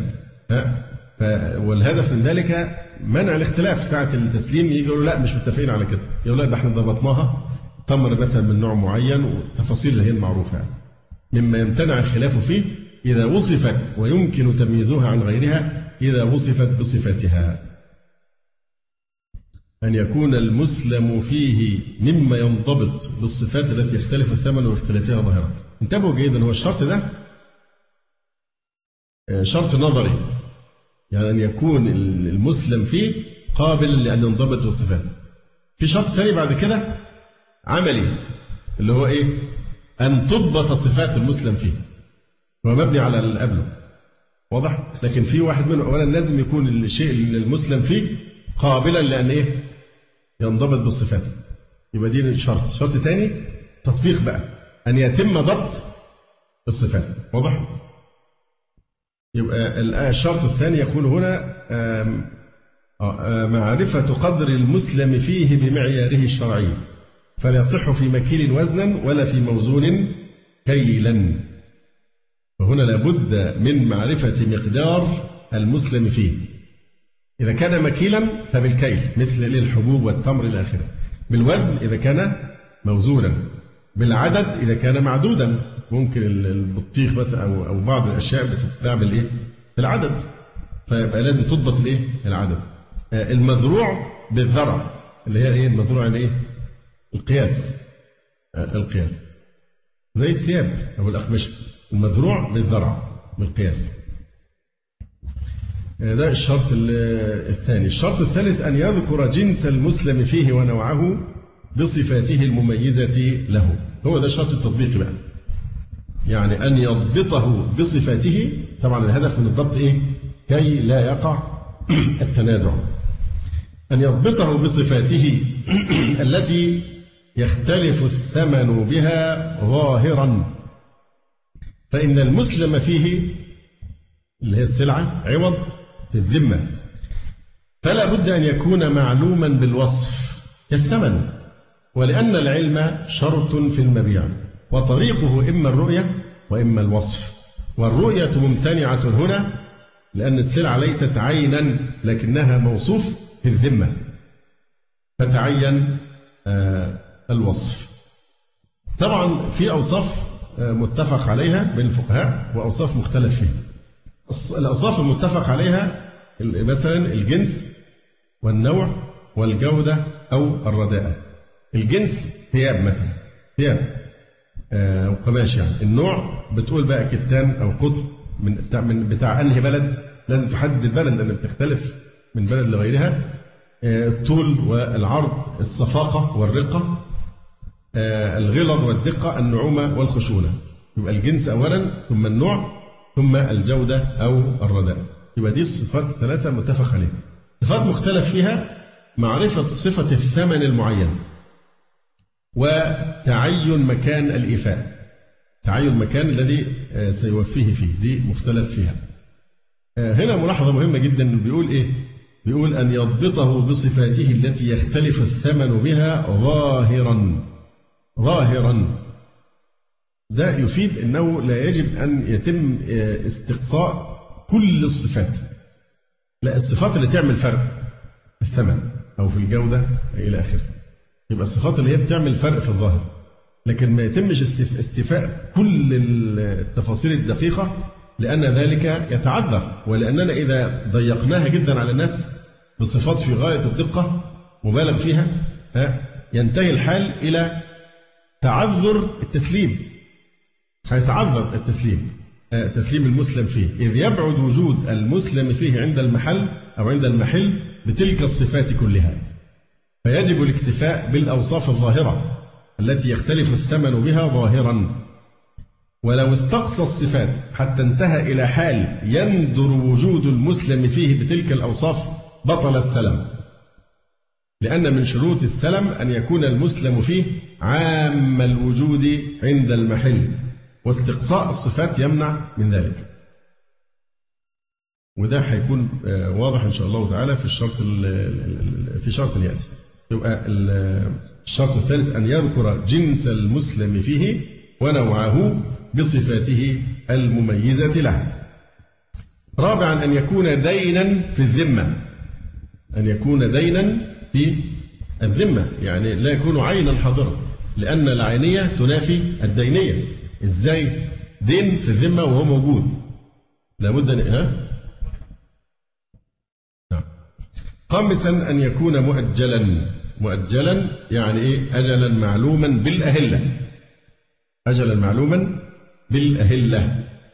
أجل مؤجلا لقوله تعالى آه، آه، لقول النبي عليه الصلاة والسلام إلى أجل معلوم. في الحديث من أسلف فليسلم فيه. إلى كذا وكذا إيه؟ إلى أجل معلوم. يبقى أن يكون مؤجلا أجلا معلوما. مؤجلا دي إشارة إلى عدم صحة السلم الحال. السلم الحال. اللي هو يعمل سلم مع حضور ما يبيعه حالا بالذمة. يعني السلعة موجودة يبقى ده سلم إيه؟ حال. فهنا الشرط ده أن يكون مؤجلا إشارة إلى إيه؟ آه إنه ما يكونش حالا. معلوما لقوله تعالى إذا تدينتم إلى أجل مسمى. وقول الرسول صلى الله عليه وسلم إلى أجل معلوم. بالأهلة بالأهلة لأنها هي المعتبرة عند الله سبحانه وتعالى. كما قال عز وجل إن عدة الشهور عند الله اثنا عشر شهرا في كتاب الله. وطبعا شهرا إيه؟ هلاليا. لقوله تعالى يسألونك عن الأهلة قل هي مواقيت للناس والحج. الشرط السادس أن يكون الأجل معلوما ومحددا من الطرفين. هذا بيناه الشرط السابع أن يقبض الثمن كاملا معلوما في مجلس العقد. ده الشرط الايه السادس أن يقبض الثمن كاملا معلوما في مجلس العقد قبل تفرقهما.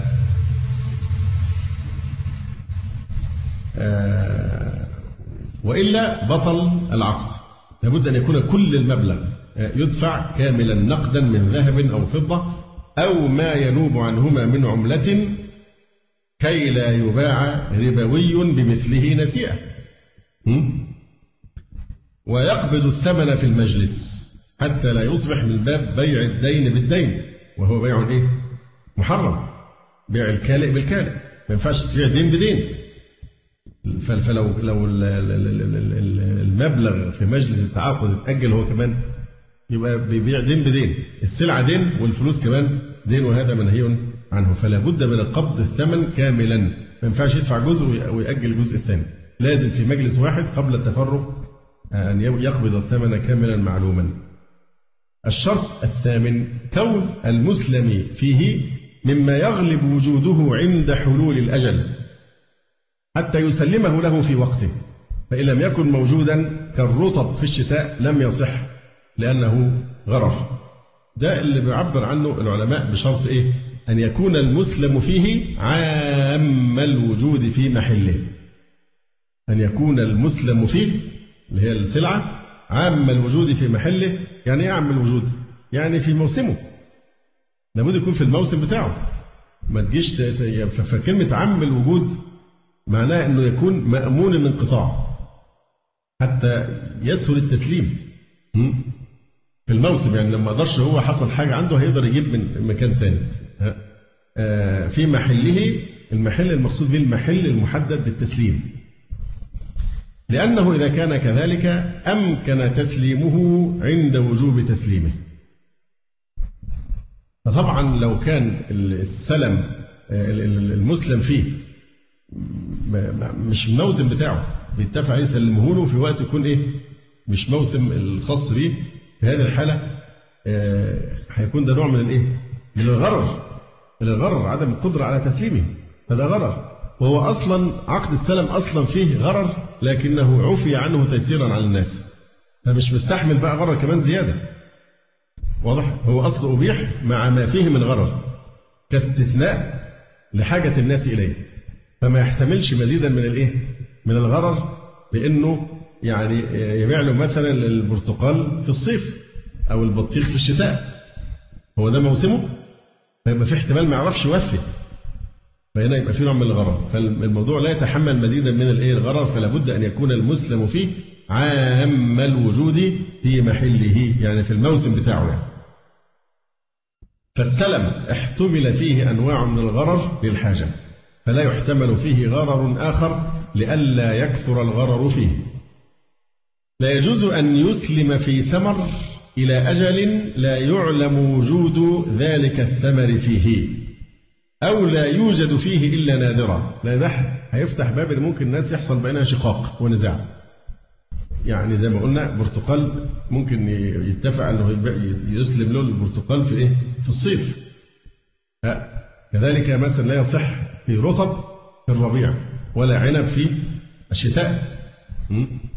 إذا تعذر تسليم المسلم فيه عند المحل إما لغيبة المسلم إليه أو عجزه عن التسليم حتى عدم المسلم فيه أو لم تحمل الثمار تلك السنة فالمسلم بالخيار بين أن يصبر إلى أن يوجد فيطالب به وبين أن يفسخ العقد ويرجع بالثمن إن كان موجودا أو بمثله إن كان مثليا وإلا قيمته. هذا فيما يتعلق بفقه السلم أعتقد ممكن نأخذ وقتا يسيرا في قضية أزمة الاقتصاد العالمي. آه، بمناسبة الكلام على موضوع الربا لكن الحقيقة الدكتور فضل إلهي تكلم في قضية الربا بكلام في غاية الروعة. يعني كتاب التدابير الوقائية من الربا في الإسلام من أروع الكتب التي تدرس في الربا لأنه نظر للنظام الاقتصادي الإسلامي نظرة في غاية الشمول والاستيعاب واستعمل كل أنواع الأدلة يعني المقنعة آه، في هذه القضايا. وتستطيع تدرس معظم البيوع في داخل هذا الكتاب موجودة في أحكام البيوع. إحنا درسناه قبل كده زمان من وقت بعيد. هو طبعا بدل من ما نقول العنوان الطويل ده أزمة النظام المالي العالمي في ميزان الاقتصاد الإسلامي للدكتور حسين حسين شحاتة الأستاذ بجامعة الأزهر وخبير استشاري في المعاملات المالية الشرعية. ممكن نسميها النظام الاقتصادي الإسلامي هو الحل. الاقتصاد الإسلامي هو الحل. آه، هختصر طبعا الكلام آه، عشان ما نطولش. لكن هو بيقول آه، تنبأ علماء الاقتصاد الوضعي من قبل بانهيار النظام الاقتصادي الاشتراكي لأنه يقوم على مفاهيم ومبادئ تتعارض مع فطرة الإنسان وسجيته ومع أحكام ومبادئ الشريعة الإسلامية. كما تنبأ العديد من رواد النظام الاقتصادي الرأسمالي بانهياره لأنه يقوم على مفاهيم ومبادئ تتعارض مع سنن الله عز وجل ومع القيم والأخلاق. كما أنه يقوم على الاحتكار والفوائد الربوية اللي هو نظام فوائد القروض والائتمان والتي يرونها خبراء الاقتصاد شر أشر شر على وجه الأرض وتقود إلى عبادة المال وسيطرة أصحاب القروض اللي هم المقرضين على المقترضين وتسلب حرياتهم وأعمالهم وديارهم وتسبب آثارا اجتماعية واقتصادية خطيرة. آه، يتساءل كثير من الناس ما أسباب الأزمة المالية العالمية وما أسباب إفلاس البنوك التي تتعامل بالديون والقروض بيعا وشراء. هي حرب حرب. يعني هل للبشر قبل بحرب يعلنها الله ورسوله عليهما؟ فإن لم تفعلوا فأذنوا إعلان إعلان حرب فأذنوا بحرب من الله ورسوله. وذلك دائما الربا عاقبته إلى قلة وذلة. قلة وذلة. دايما شؤم الربا ولو جماعة يعني سألت من الناس الاقتصاديين الكبار عندهم النماذج وقصص لا تنتهي ممن طغوا وبغوا وأرادوا الاستكثار عن طريق الربا فكانت العاقبة آه، إلى قلة ومحق بركة. ما هي أسباب إفلاس البنوك التي تتعامل بالديون والقروض بيعا وشراء؟ ما هي أسباب إفلاس الشركات الكبيرة التي تعتمد على التمويل من البنوك بنظام الفائدة؟ هل هناك توقعات لكساد عالمي جديد تقوده الرأسمالية وأدواتها مثل العولمة؟ ونظام الفوائد. هذه التساؤلات يعني آه، يحاول أن يجيب عنها هنا. يقول لقد بدأت إرهاصات ومعالم انهيار النظام المالي العالمي في الظهور وأصابت أصحاب الأموال وغيرهم بالهلع والذعر والرعب. كما ارتبكت المؤسسات المالية والوسطاء معها في التفكير في وضع الخطط للإنقاذ.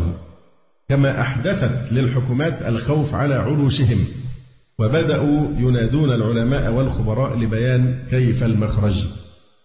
بيذكر بعض مظاهر الأزمة آه، على سبيل المثال. أولا الهرولة في سحب الإيداعات من البنوك لأن رأس المال جبان وهذا ما تناولته وكالات الأعلام المختلفة الإعلام. قيام العديد من المؤسسات المالية بتجميد منح القروض للشركات والأفراد خوفا على صعوبة استردادها. نقص السيولة المتداولة لدى الأفراد والشركات والمؤسسات المالية وهذا أدى إلى انكماش حاد في النشاط الاقتصادي وفي كافة نواحي الحياة مما أدى إلى توقف المقترضين عن سداد دينهم. حرب انخفاض مستوى التداولات في أسواق النقد والمال وهذا أحدث ارتباكا وخللا في مؤشرات الهبوط والصعود. انخفاض مستوى الطاقة المستغلة في الشركات بسبب نقص السيولة وتجميد الحصول على القروض من المؤسسات المالية إلا بأسعار فائدة عالية جدا وضمانات مغلظة. انخفاض المبيعات لا سيما في قطاع العقارات والسيارات وغيرها بسبب ضعف السيولة. ازدياد معدل البطالة بسبب التوقف والإفلاس والتصفية وأصبح كل موظف وعامل مهددا بالفصل. ازدياد معدل الطلب على الإعانات الاجتماعية من الحكومات. انخفاض معدلات الاستهلاك والإنفاق والادخار والاستثمار وهذا أدى إلى مزيد من الكساد والبطالة والتعثر والتوقف والتصفية والإفلاس. طبعا نشرات الأخبار بتشرح هذا الكلام كل يوم. شركات الطيران والسيارات وكذا وكله بإيه؟ بيعلن هذه الأشياء. إذا ما هي الأسباب الحقيقية لهذه الأزمة؟ إن تشخيص أسباب الأزمة هو مفتاح العلاج السليم فتصور الشيء تصورا سليما ودقيقا ومحايدا وموضوعيا هو جزء من تقديم الحل السليم الموضوعي الرصين. يقول علماء الاقتصاد العالمي ومنهم الذين حصلوا على جائزة نوبل في الاقتصاد مثل موريس أليه يقول إن النظام الاقتصادي الرأسمالي يقوم على بعض المفاهيم والقواعد التي هي أساس تدميره إذا لم تعالج وتصوب تصويبا عاجلا. كما تنبأ العديد من رجال الاقتصاد الثقات أن النظام الاقتصادي العالمي الجديد يقوم على مبادئ تقود إلى إفلاسه. من أسباب هذه الأزمة على حد آراء هؤلاء الاقتصاديين أولا انتشار الفساد الأخلاقي الاقتصادي. صد خال تمام من الخلق خال من الرحمة خال من التكافل. آه، آه، بالعكس يقوم على الاستغلال والكذب والشائعات المغرضة والغش والتدليس والاحتكار والمعاملات الوهمية. وهذه الموبقات تؤدي إلى الظلم أي ظلم من أصحاب الأموال من الأغنياء والدائنين للفقراء والمساكين والمدينين. وهذا سوف يقود إلى تذمر المظلومين عندما لا يستطيعون تحمل الظلم وسوف يقود ذلك إلى تذمر المدينين وحدوث الثورات الاجتماعية عند عدم سداد ديونهم وقروضهم.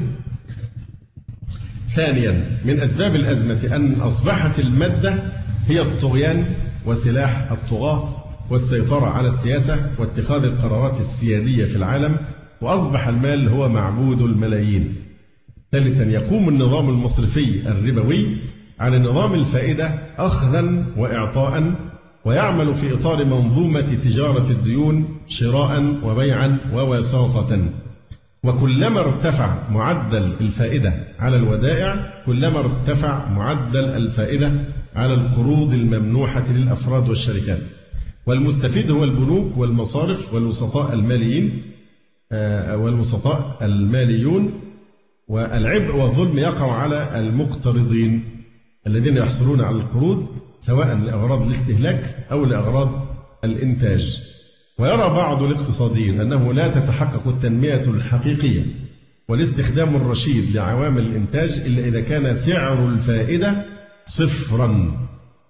يعني الحل هو الاقتصاد الإسلامي الذي يحرم الربا.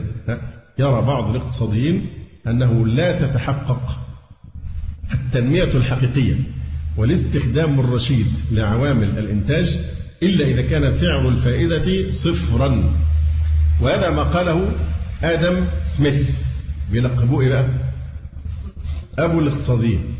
أبو الإقتصاديين. هم يلقبونه هكذا هو اللي بيقول الكلام ده. ويرون أن البديل هو نظام المشاركة في الربح والخسارة. لأنه يحقق الاستقرار والأمن. وقالوا كذلك إن نظام الفائدة يقود إلى تركز الأموال في يد فئة قليلة سوف تسيطر على الثروة. رابعا يقوم النظام المالي والمصرفي التقليدي على نظام جدولة الديون بسعر فائدة أعلى أو استبدال قرض واجب السداد بقرض جديد بسعر فائدة مرتفع. كما كان المرابون يقولون في الجاهلية أتقضي أم تربي؟ وهذا يلقي أعباء إضافية على المقترض المدين الذي عجز عن دفع القرض الأول بسبب سعر الفائدة الأعلى. خامسا يقود يقوم النظام المالي العالمي ونظام الأسواق المالية على نظام المشتقات المالية والتي تعتمد اعتمادا أساسيا على معاملات وهمية ورقية شكلية تقوم على الاحتمالات. ولا يترتب عليها أي مبادلات فعلية للسلع والخدمات. فهي عينها المقامرات والمراهنات التي تقوم على الحظ والقدر. والأدهى والأمر أن معظمها يقوم على ائتمانات من البنوك في شكل قروض وعندما تأتي الرياح بما لا تشتهي السفن ينهار كل شيء وتحدث الأزمة المالية. سادسا من الأسباب كذلك سوء سلوكيات مؤسسات الوساطة المالية والتي تقوم على إغراء الراغبين اللي هم المحتاجين إلى القروض والتدليس عليهم وإغرائهم والغرر والجهالة بالحصول على القروض من المؤسسات المالية ويطلبون عمولات عالية في حالة وجود مخاطر. الذي يتحمل تبعة ذلك كله هو المقترض المدين الذي لا حول له ولا قوة وهذا ما حدث فعلا وهذا يقود في النهاية إلى الأزمة. سابعا يعتبر التوسع والإفراط في تطبيق نظام بطاقات الائتمان بدون رصيد. اللي بيسموها؟ فين التجاريين السحب على المكشوف. السحب على المكشوف فالتوسع والإفراط في تطبيق نظام بطاقات الائتمان بدون رصيد سحب على المكشوف. والتي تحمل صاحبها تكاليف عالية. وهذا من أسباب الأزمة. وعندما يعجز صاحب البطاقة عن سداد ما عليه من من مديونية يزاد له في سعر الفائدة وهكذا حتى يتم الحجز عليه أو رهن سيارته أو منزله. وهذا ما حدث فعلا للعديد من حاملي هذه البطاقات. وقادت إلى خلل في ميزانية البيت وكانت سببا في أزمة في بعض البنوك الربوية. يقول حتى هذه المرحلة من إرهاصات أزمة النظام المالي العالمي والذي أصيب بجلطة خطيرة ونزيف داخلي في مخه أدت إلى شلل في أعضاء الجسد وتجمدت شرايين النشاط الاقتصادي. ومن آثار ذلك السيئة ما يلي أولا الذعر والخوف والقلق والتخبط الذي أصاب الناس جميعا منهم على سبيل المثال الحكام والرؤساء والوزراء. ثانيا أصحاب آه، المؤسسات المالية والقائمين على أمور الأسواق المالية. أصحاب مؤسسات الوساطة المالية أصحاب الودائع في البنوك والمصارف وغيرها. المقترضون من البنوك والمتعاملون معها وكذلك أصحاب الودائع. المستهلكون المهددون بارتفاع الأسعار. الموظفون والعمال المهددون بفقد وظائفهم. إحنا كل بنشرح فأذنوا بحرب من الله ورسوله. كل الكلام ده مظاهر الحرب من الله ورسوله عليه الصلاة والسلام. الفقراء والمساكين الذين يعيشون على الإعانات والصدقات. وأصبحت هذه الأزمة مثل سرطان الدم الذي يسري في الحياة الاقتصادية. ثانيا إفلاس بعض البنوك والمصارف والمؤسسات المالية بسبب نقص السيولة وزيادة مسحوبات المودعين واضطرار بعض الحكومات من خلال البنوك المركزية إلى إنقاذ ما يمكن إنقاذه من البقية الباقية حتى لا يحدث انهيار تام للحياة الاقتصادية وتقع الدولة في دائرة الإفلاس. ضخ ضخ الملايين والبلايين ثالثا إفلاس بعض الشركات التي كانت تعتمد على صيغة التمويل بنظام القروض بفوائد. أو توقف بعض خطوطها الإنتاجية كما بدأت بعض البنوك بتنفيذ الرهونات والضمانات التي معها وهذا سبب خللا في التدفقات النقدية لها. رابعا فقد الوظائف وارتفاع نسبة طالبي الإعانات الاجتماعية الحكومية وغيرها وهذا ألقى المزيد من الأعباء على ميزانيات الدول وأوقف العديد من المشروعات الاستثمارية الجديدة. خامسا قيام بعض الدول إلى فرض المزيد من الضرائب. لتعويض العجز في ميزانيات في في ميزانياتها بسبب ارتفاع ميزانيات الدعم وتقديم المساعدات للشركات والبنوك المقبلة على الإفلاس أو لدعم الودائع أو نحو ذلك. سادسا فقدان المقترضين لأصولهم ومنازلهم المرهونة بسبب القروض وأصبحوا في عداد المشردين واللاجئين والمهجرين والفقراء والمساكين. يتساءل كثير من الناس ما أثر أزمة النظام المالي العالمي على المؤسسات المالية الإسلامية من مصارف وشركات استثمار ودور تمويل وما في حكمها. يقول لا يجب أن تكون ردود علماء الاقتصاد الإسلامي وخبراء المؤسسات المالية الإسلامية على الأحداث المالية والمصرفية العالمية رد فعل، بل يجب إبراز مفاهيم وقواعد النظام الاقتصادي والمالي للناس وبيان مرجعيته وتطبيقته والتأكيد على أن حدوث مثل هذه الأزمات كانت بسبب غياب تطبيق مفاهيم الاقتصاد الإسلامي ومبادئه ونظمه. ثم يذكر قواعد أو ضوابط الأمن والاستقرار في الاقتصاد الإسلامي. يقوم النظام المالي والاقتصادي الإسلامي وكذلك مؤسساته المالية على مجموعة من القواعد التي تحقق له الأمن والأمان والاستقرار وتقليل المخاطر. وذلك بالمقارنة مع النظم الوضعية التي تقوم على نظام الفائدة والمشتقات المالية. ومن أهم هذه القواعد أولا يقوم النظام المالي الاقتصادي الإسلامي على منظومة من القيم والمثل والأخلاق. فأول ميزة للاقتصاد الإسلامي أنه نظام أخلاقي له ضوابط أو منظومة قيمية أخلاقية بخلاف النظام الرأسمالي. من هذه الأخلاق الأمانة المصداقية الشفافية البينة التيسير التعاون والتكامل والتضامن. فلا اقتصاد إسلاميا بدون أخلاق ومثل. تعتبر هذه المنظومة من الضمانات التي تحقق الأمن والأمان والاستقرار لكافة المتعاملين.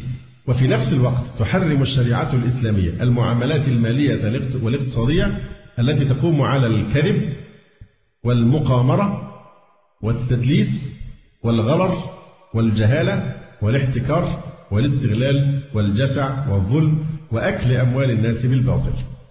ويعتبر الالتزام بالقيم الإيمانية والأخلاقية عبادة وطاعة لله يثاب عليها المسلم وتضبط سلوكه سواء كان منتجا منتجا أو مستهلكا بائعا أو مشتريا. وذلك في حالة الرواج والكساد وفي حالة الاستقرار أو في حالة الأزمة. ثانيا يقوم النظام المالي والاقتصادي الإسلامي على قاعدة المشاركة في الربح والخسارة وعلى التداول الفعلي للأموال والموجود مش تعامل وهمي زي اللي أدى إلى خراب الاقتصاد العالمي لكن لابد يكون تداول إيه؟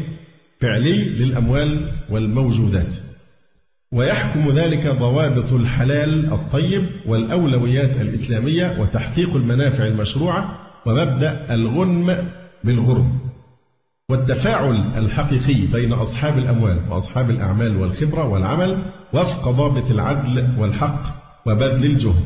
وهذا يقلل من حدة أية أزمة حيث لا يوجد فريق رابح دائما وفريق خاسر دائما. أبدا في النظام الاقتصادي الإسلامي لازم يكون فيه مبدأ الإيه؟ المخاطرة. بل هناك المشاركة في الربح والخسارة مشاركة في الربح والخسارة وده بيتم بأن تكون الفائدة صفرا يعني مفيش ربا.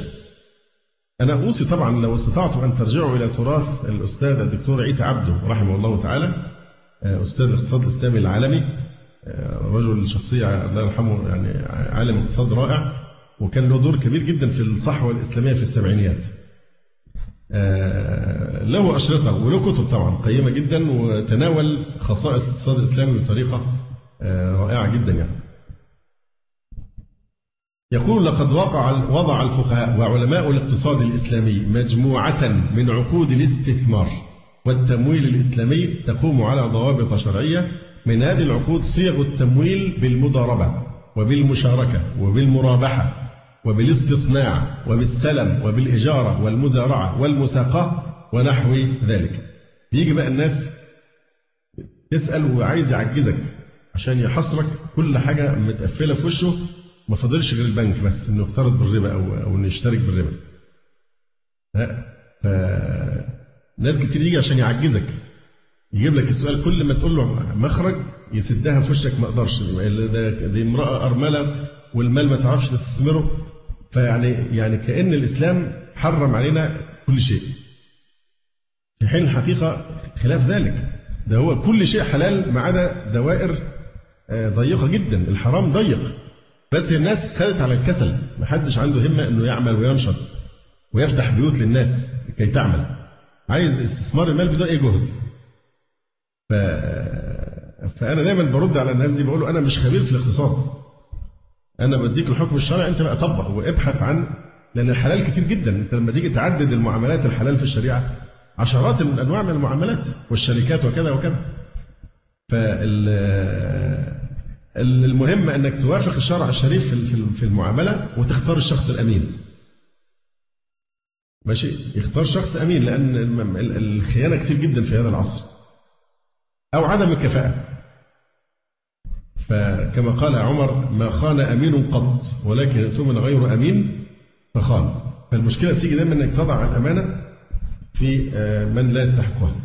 لكن إذا كان امينا فعلا فإنه لا يخون ابدا. على أي الأحوال ده حديث آخر. يقول فالعقود الشرعية كثيرة جدا مثل التمويل بالمضاربة المشاركة المرابحة طبعا الحلال يعني الاستصناع السلم الإجارة المزارعة المساقاة إلى آخر هذه المعاملات كما حرمت الشريعة الإسلامية كافة عقود التمويل بالاستثمار القائمة على التمويل بالقروض بفائدة والتي تعتبر من الأسباب الرئيسية للأزمة المالية العالمية الحالية. ثالثا حرمت الشريعة الإسلامية نظام المشتقات المالية والتي تقوم على معاملات وهمية يسودها الغرر والجهالة. ولقد كيف فقهاء الاقتصاد الإسلامي مثل هذه المعاملات على أنها من المقامرات المنهي عنها شرعًا. وقد أكد الخبراء وأصحاب البصيرة من علماء الاقتصاد الوضعي أن من أسباب الأزمة المالية العالمية المعاصرة هو نظام المشتقات المالية لأنها لا تسبب تنمية اقتصادية حقيقية بل هي وسيلة من وسائل خلق النقود التي تسبب التضخم وارتفاع الأسعار كما تقود إلى أرذل الأخلاق. كما أنها تسبب الانهيار السريع في المؤسسات المالية التي تتعامل بمثل هذا النظام. وما حدث في أسواق دول شرق آسيا ليس عنا ببعيد. النمور لما انهارت أيضا من كم سنة. رابعا لقد حرمت الشريعة الإسلامية كافة صور وصيغ وأشكال بيع الدين بالدين مثل خصم الأوراق التجارية وخصم الشيكات المؤجلة السداد كما حرمت نظام جدولة الديون مع رفع سعر الفائدة. ونهى رسول الله صلى الله عليه وسلم عن بيع الكالئ بالكالئ اللي هو بيع الدين بالدين. ولقد أكد خبراء وعلماء الاقتصاد الوضعي أن من أسباب الأزمة المالية المعاصرة هو قيام بعض الشركات الوساطة المالية بالتجارة في الديون مما أدى إلى اشتعال الأزمة وهذا ما حدث فعلا. خامسا يقوم النظام المالي والاقتصادي الإسلامي على مبدأ التيسير على المقترض. في حد غلبان زينا كده ممكن يروح بنك ويقرضوه مش ممكن طبعا. البنك ممكن يقرض الغلابة؟ لا لازم بنك ياخد منك ضمانات إيه؟ بأرض بأي شيء لازم ضمانات. مفردات المرتب إلى آخره يعني ف يمكن توجد طبعا بعض الأنشطة يعني خيرية في لكن مش هي الأصل.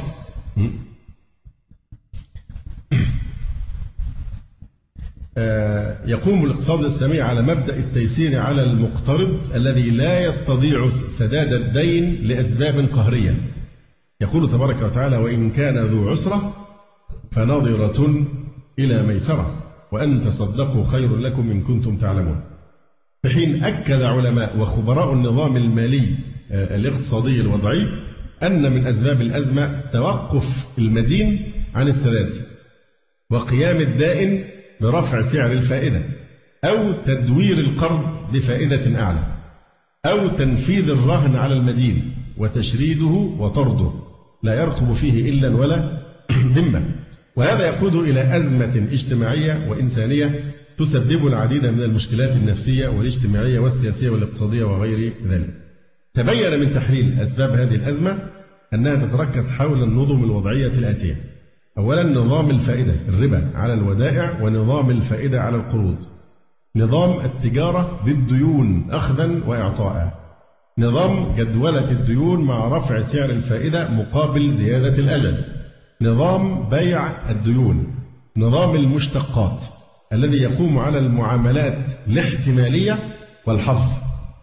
كما تبين من مفاهيم وقواعد وضوابط النظام المالي والاقتصادي الإسلامي ومؤسساته المالية أنه يحرم كل هذه النظم التي كانت سببا في وجود الأزمة وتتعارض مع فطرة الإنسان ومقاصده الشرعية. فلقد حرمت الشريعة الإسلامية نظام الفائدة الربوية على القروض والائتمان وأحلت نظم التمويل والاستثمار القائمة على المشاركة وتفاعل رأس المال والعمل في إطار قاعدة الغنم بالغرم. كما حرمت الشريعة الإسلامية كافة صور الغرر والجهالة والتدليس والمقامرة والغش والكذب والإشاعات والاستغلال وأكل أموال الناس بالباطل وأكدت على الالتزام بالصدق والأمانة والتبيان والشفافية. خلاصة الكلام آه، هي في قول الله تبارك وتعالى فإما يأتينكم مني هدى فمن تبع هداي فلا يضل ولا يشقى. فإما يأتينكم مني هدى فمن اتبع هداي فلا يضل ولا يشقى ومن أعرض عن ذكري فإن له معيشة ضنكا ونحشره يوم القيامة أعمى. وقال تعالى يمحق الله الربا ويربي الصدقات والله لا يحب كل كفار أثيم. ويقول الله تبارك وتعالى قد جاءكم من الله نور وكتاب مبين. يهدي به الله من اتبع رضوانه سبل السلام ويخرجهم من الظلمات إلى النور بإذنه ويهديهم إلى صراط مستقيم. فكي لا يدخل الناس في حرب مع من لا قبل لهم بحربه. نذكرهم بقول الله تبارك وتعالى يا أيها الذين آمنوا اتقوا الله وذروا ما بقي من الربا إن كنتم مؤمنين. فإن لم تفعلوا فأذنوا بحرب من الله ورسوله. وإن تبتم فلكم رؤوس أموالكم لا تظلمون ولا تظلمون. يقول تعالى يمحق الله الربا ويربي الصدقات الله لا يحب كل كفار أثيم. أقول قولي هذا وأستغفر الله لي ولكم. سبحانك اللهم ربنا وبحمدك أشهد أن لا إله إلا أنت أستغفرك وأتوب إليك.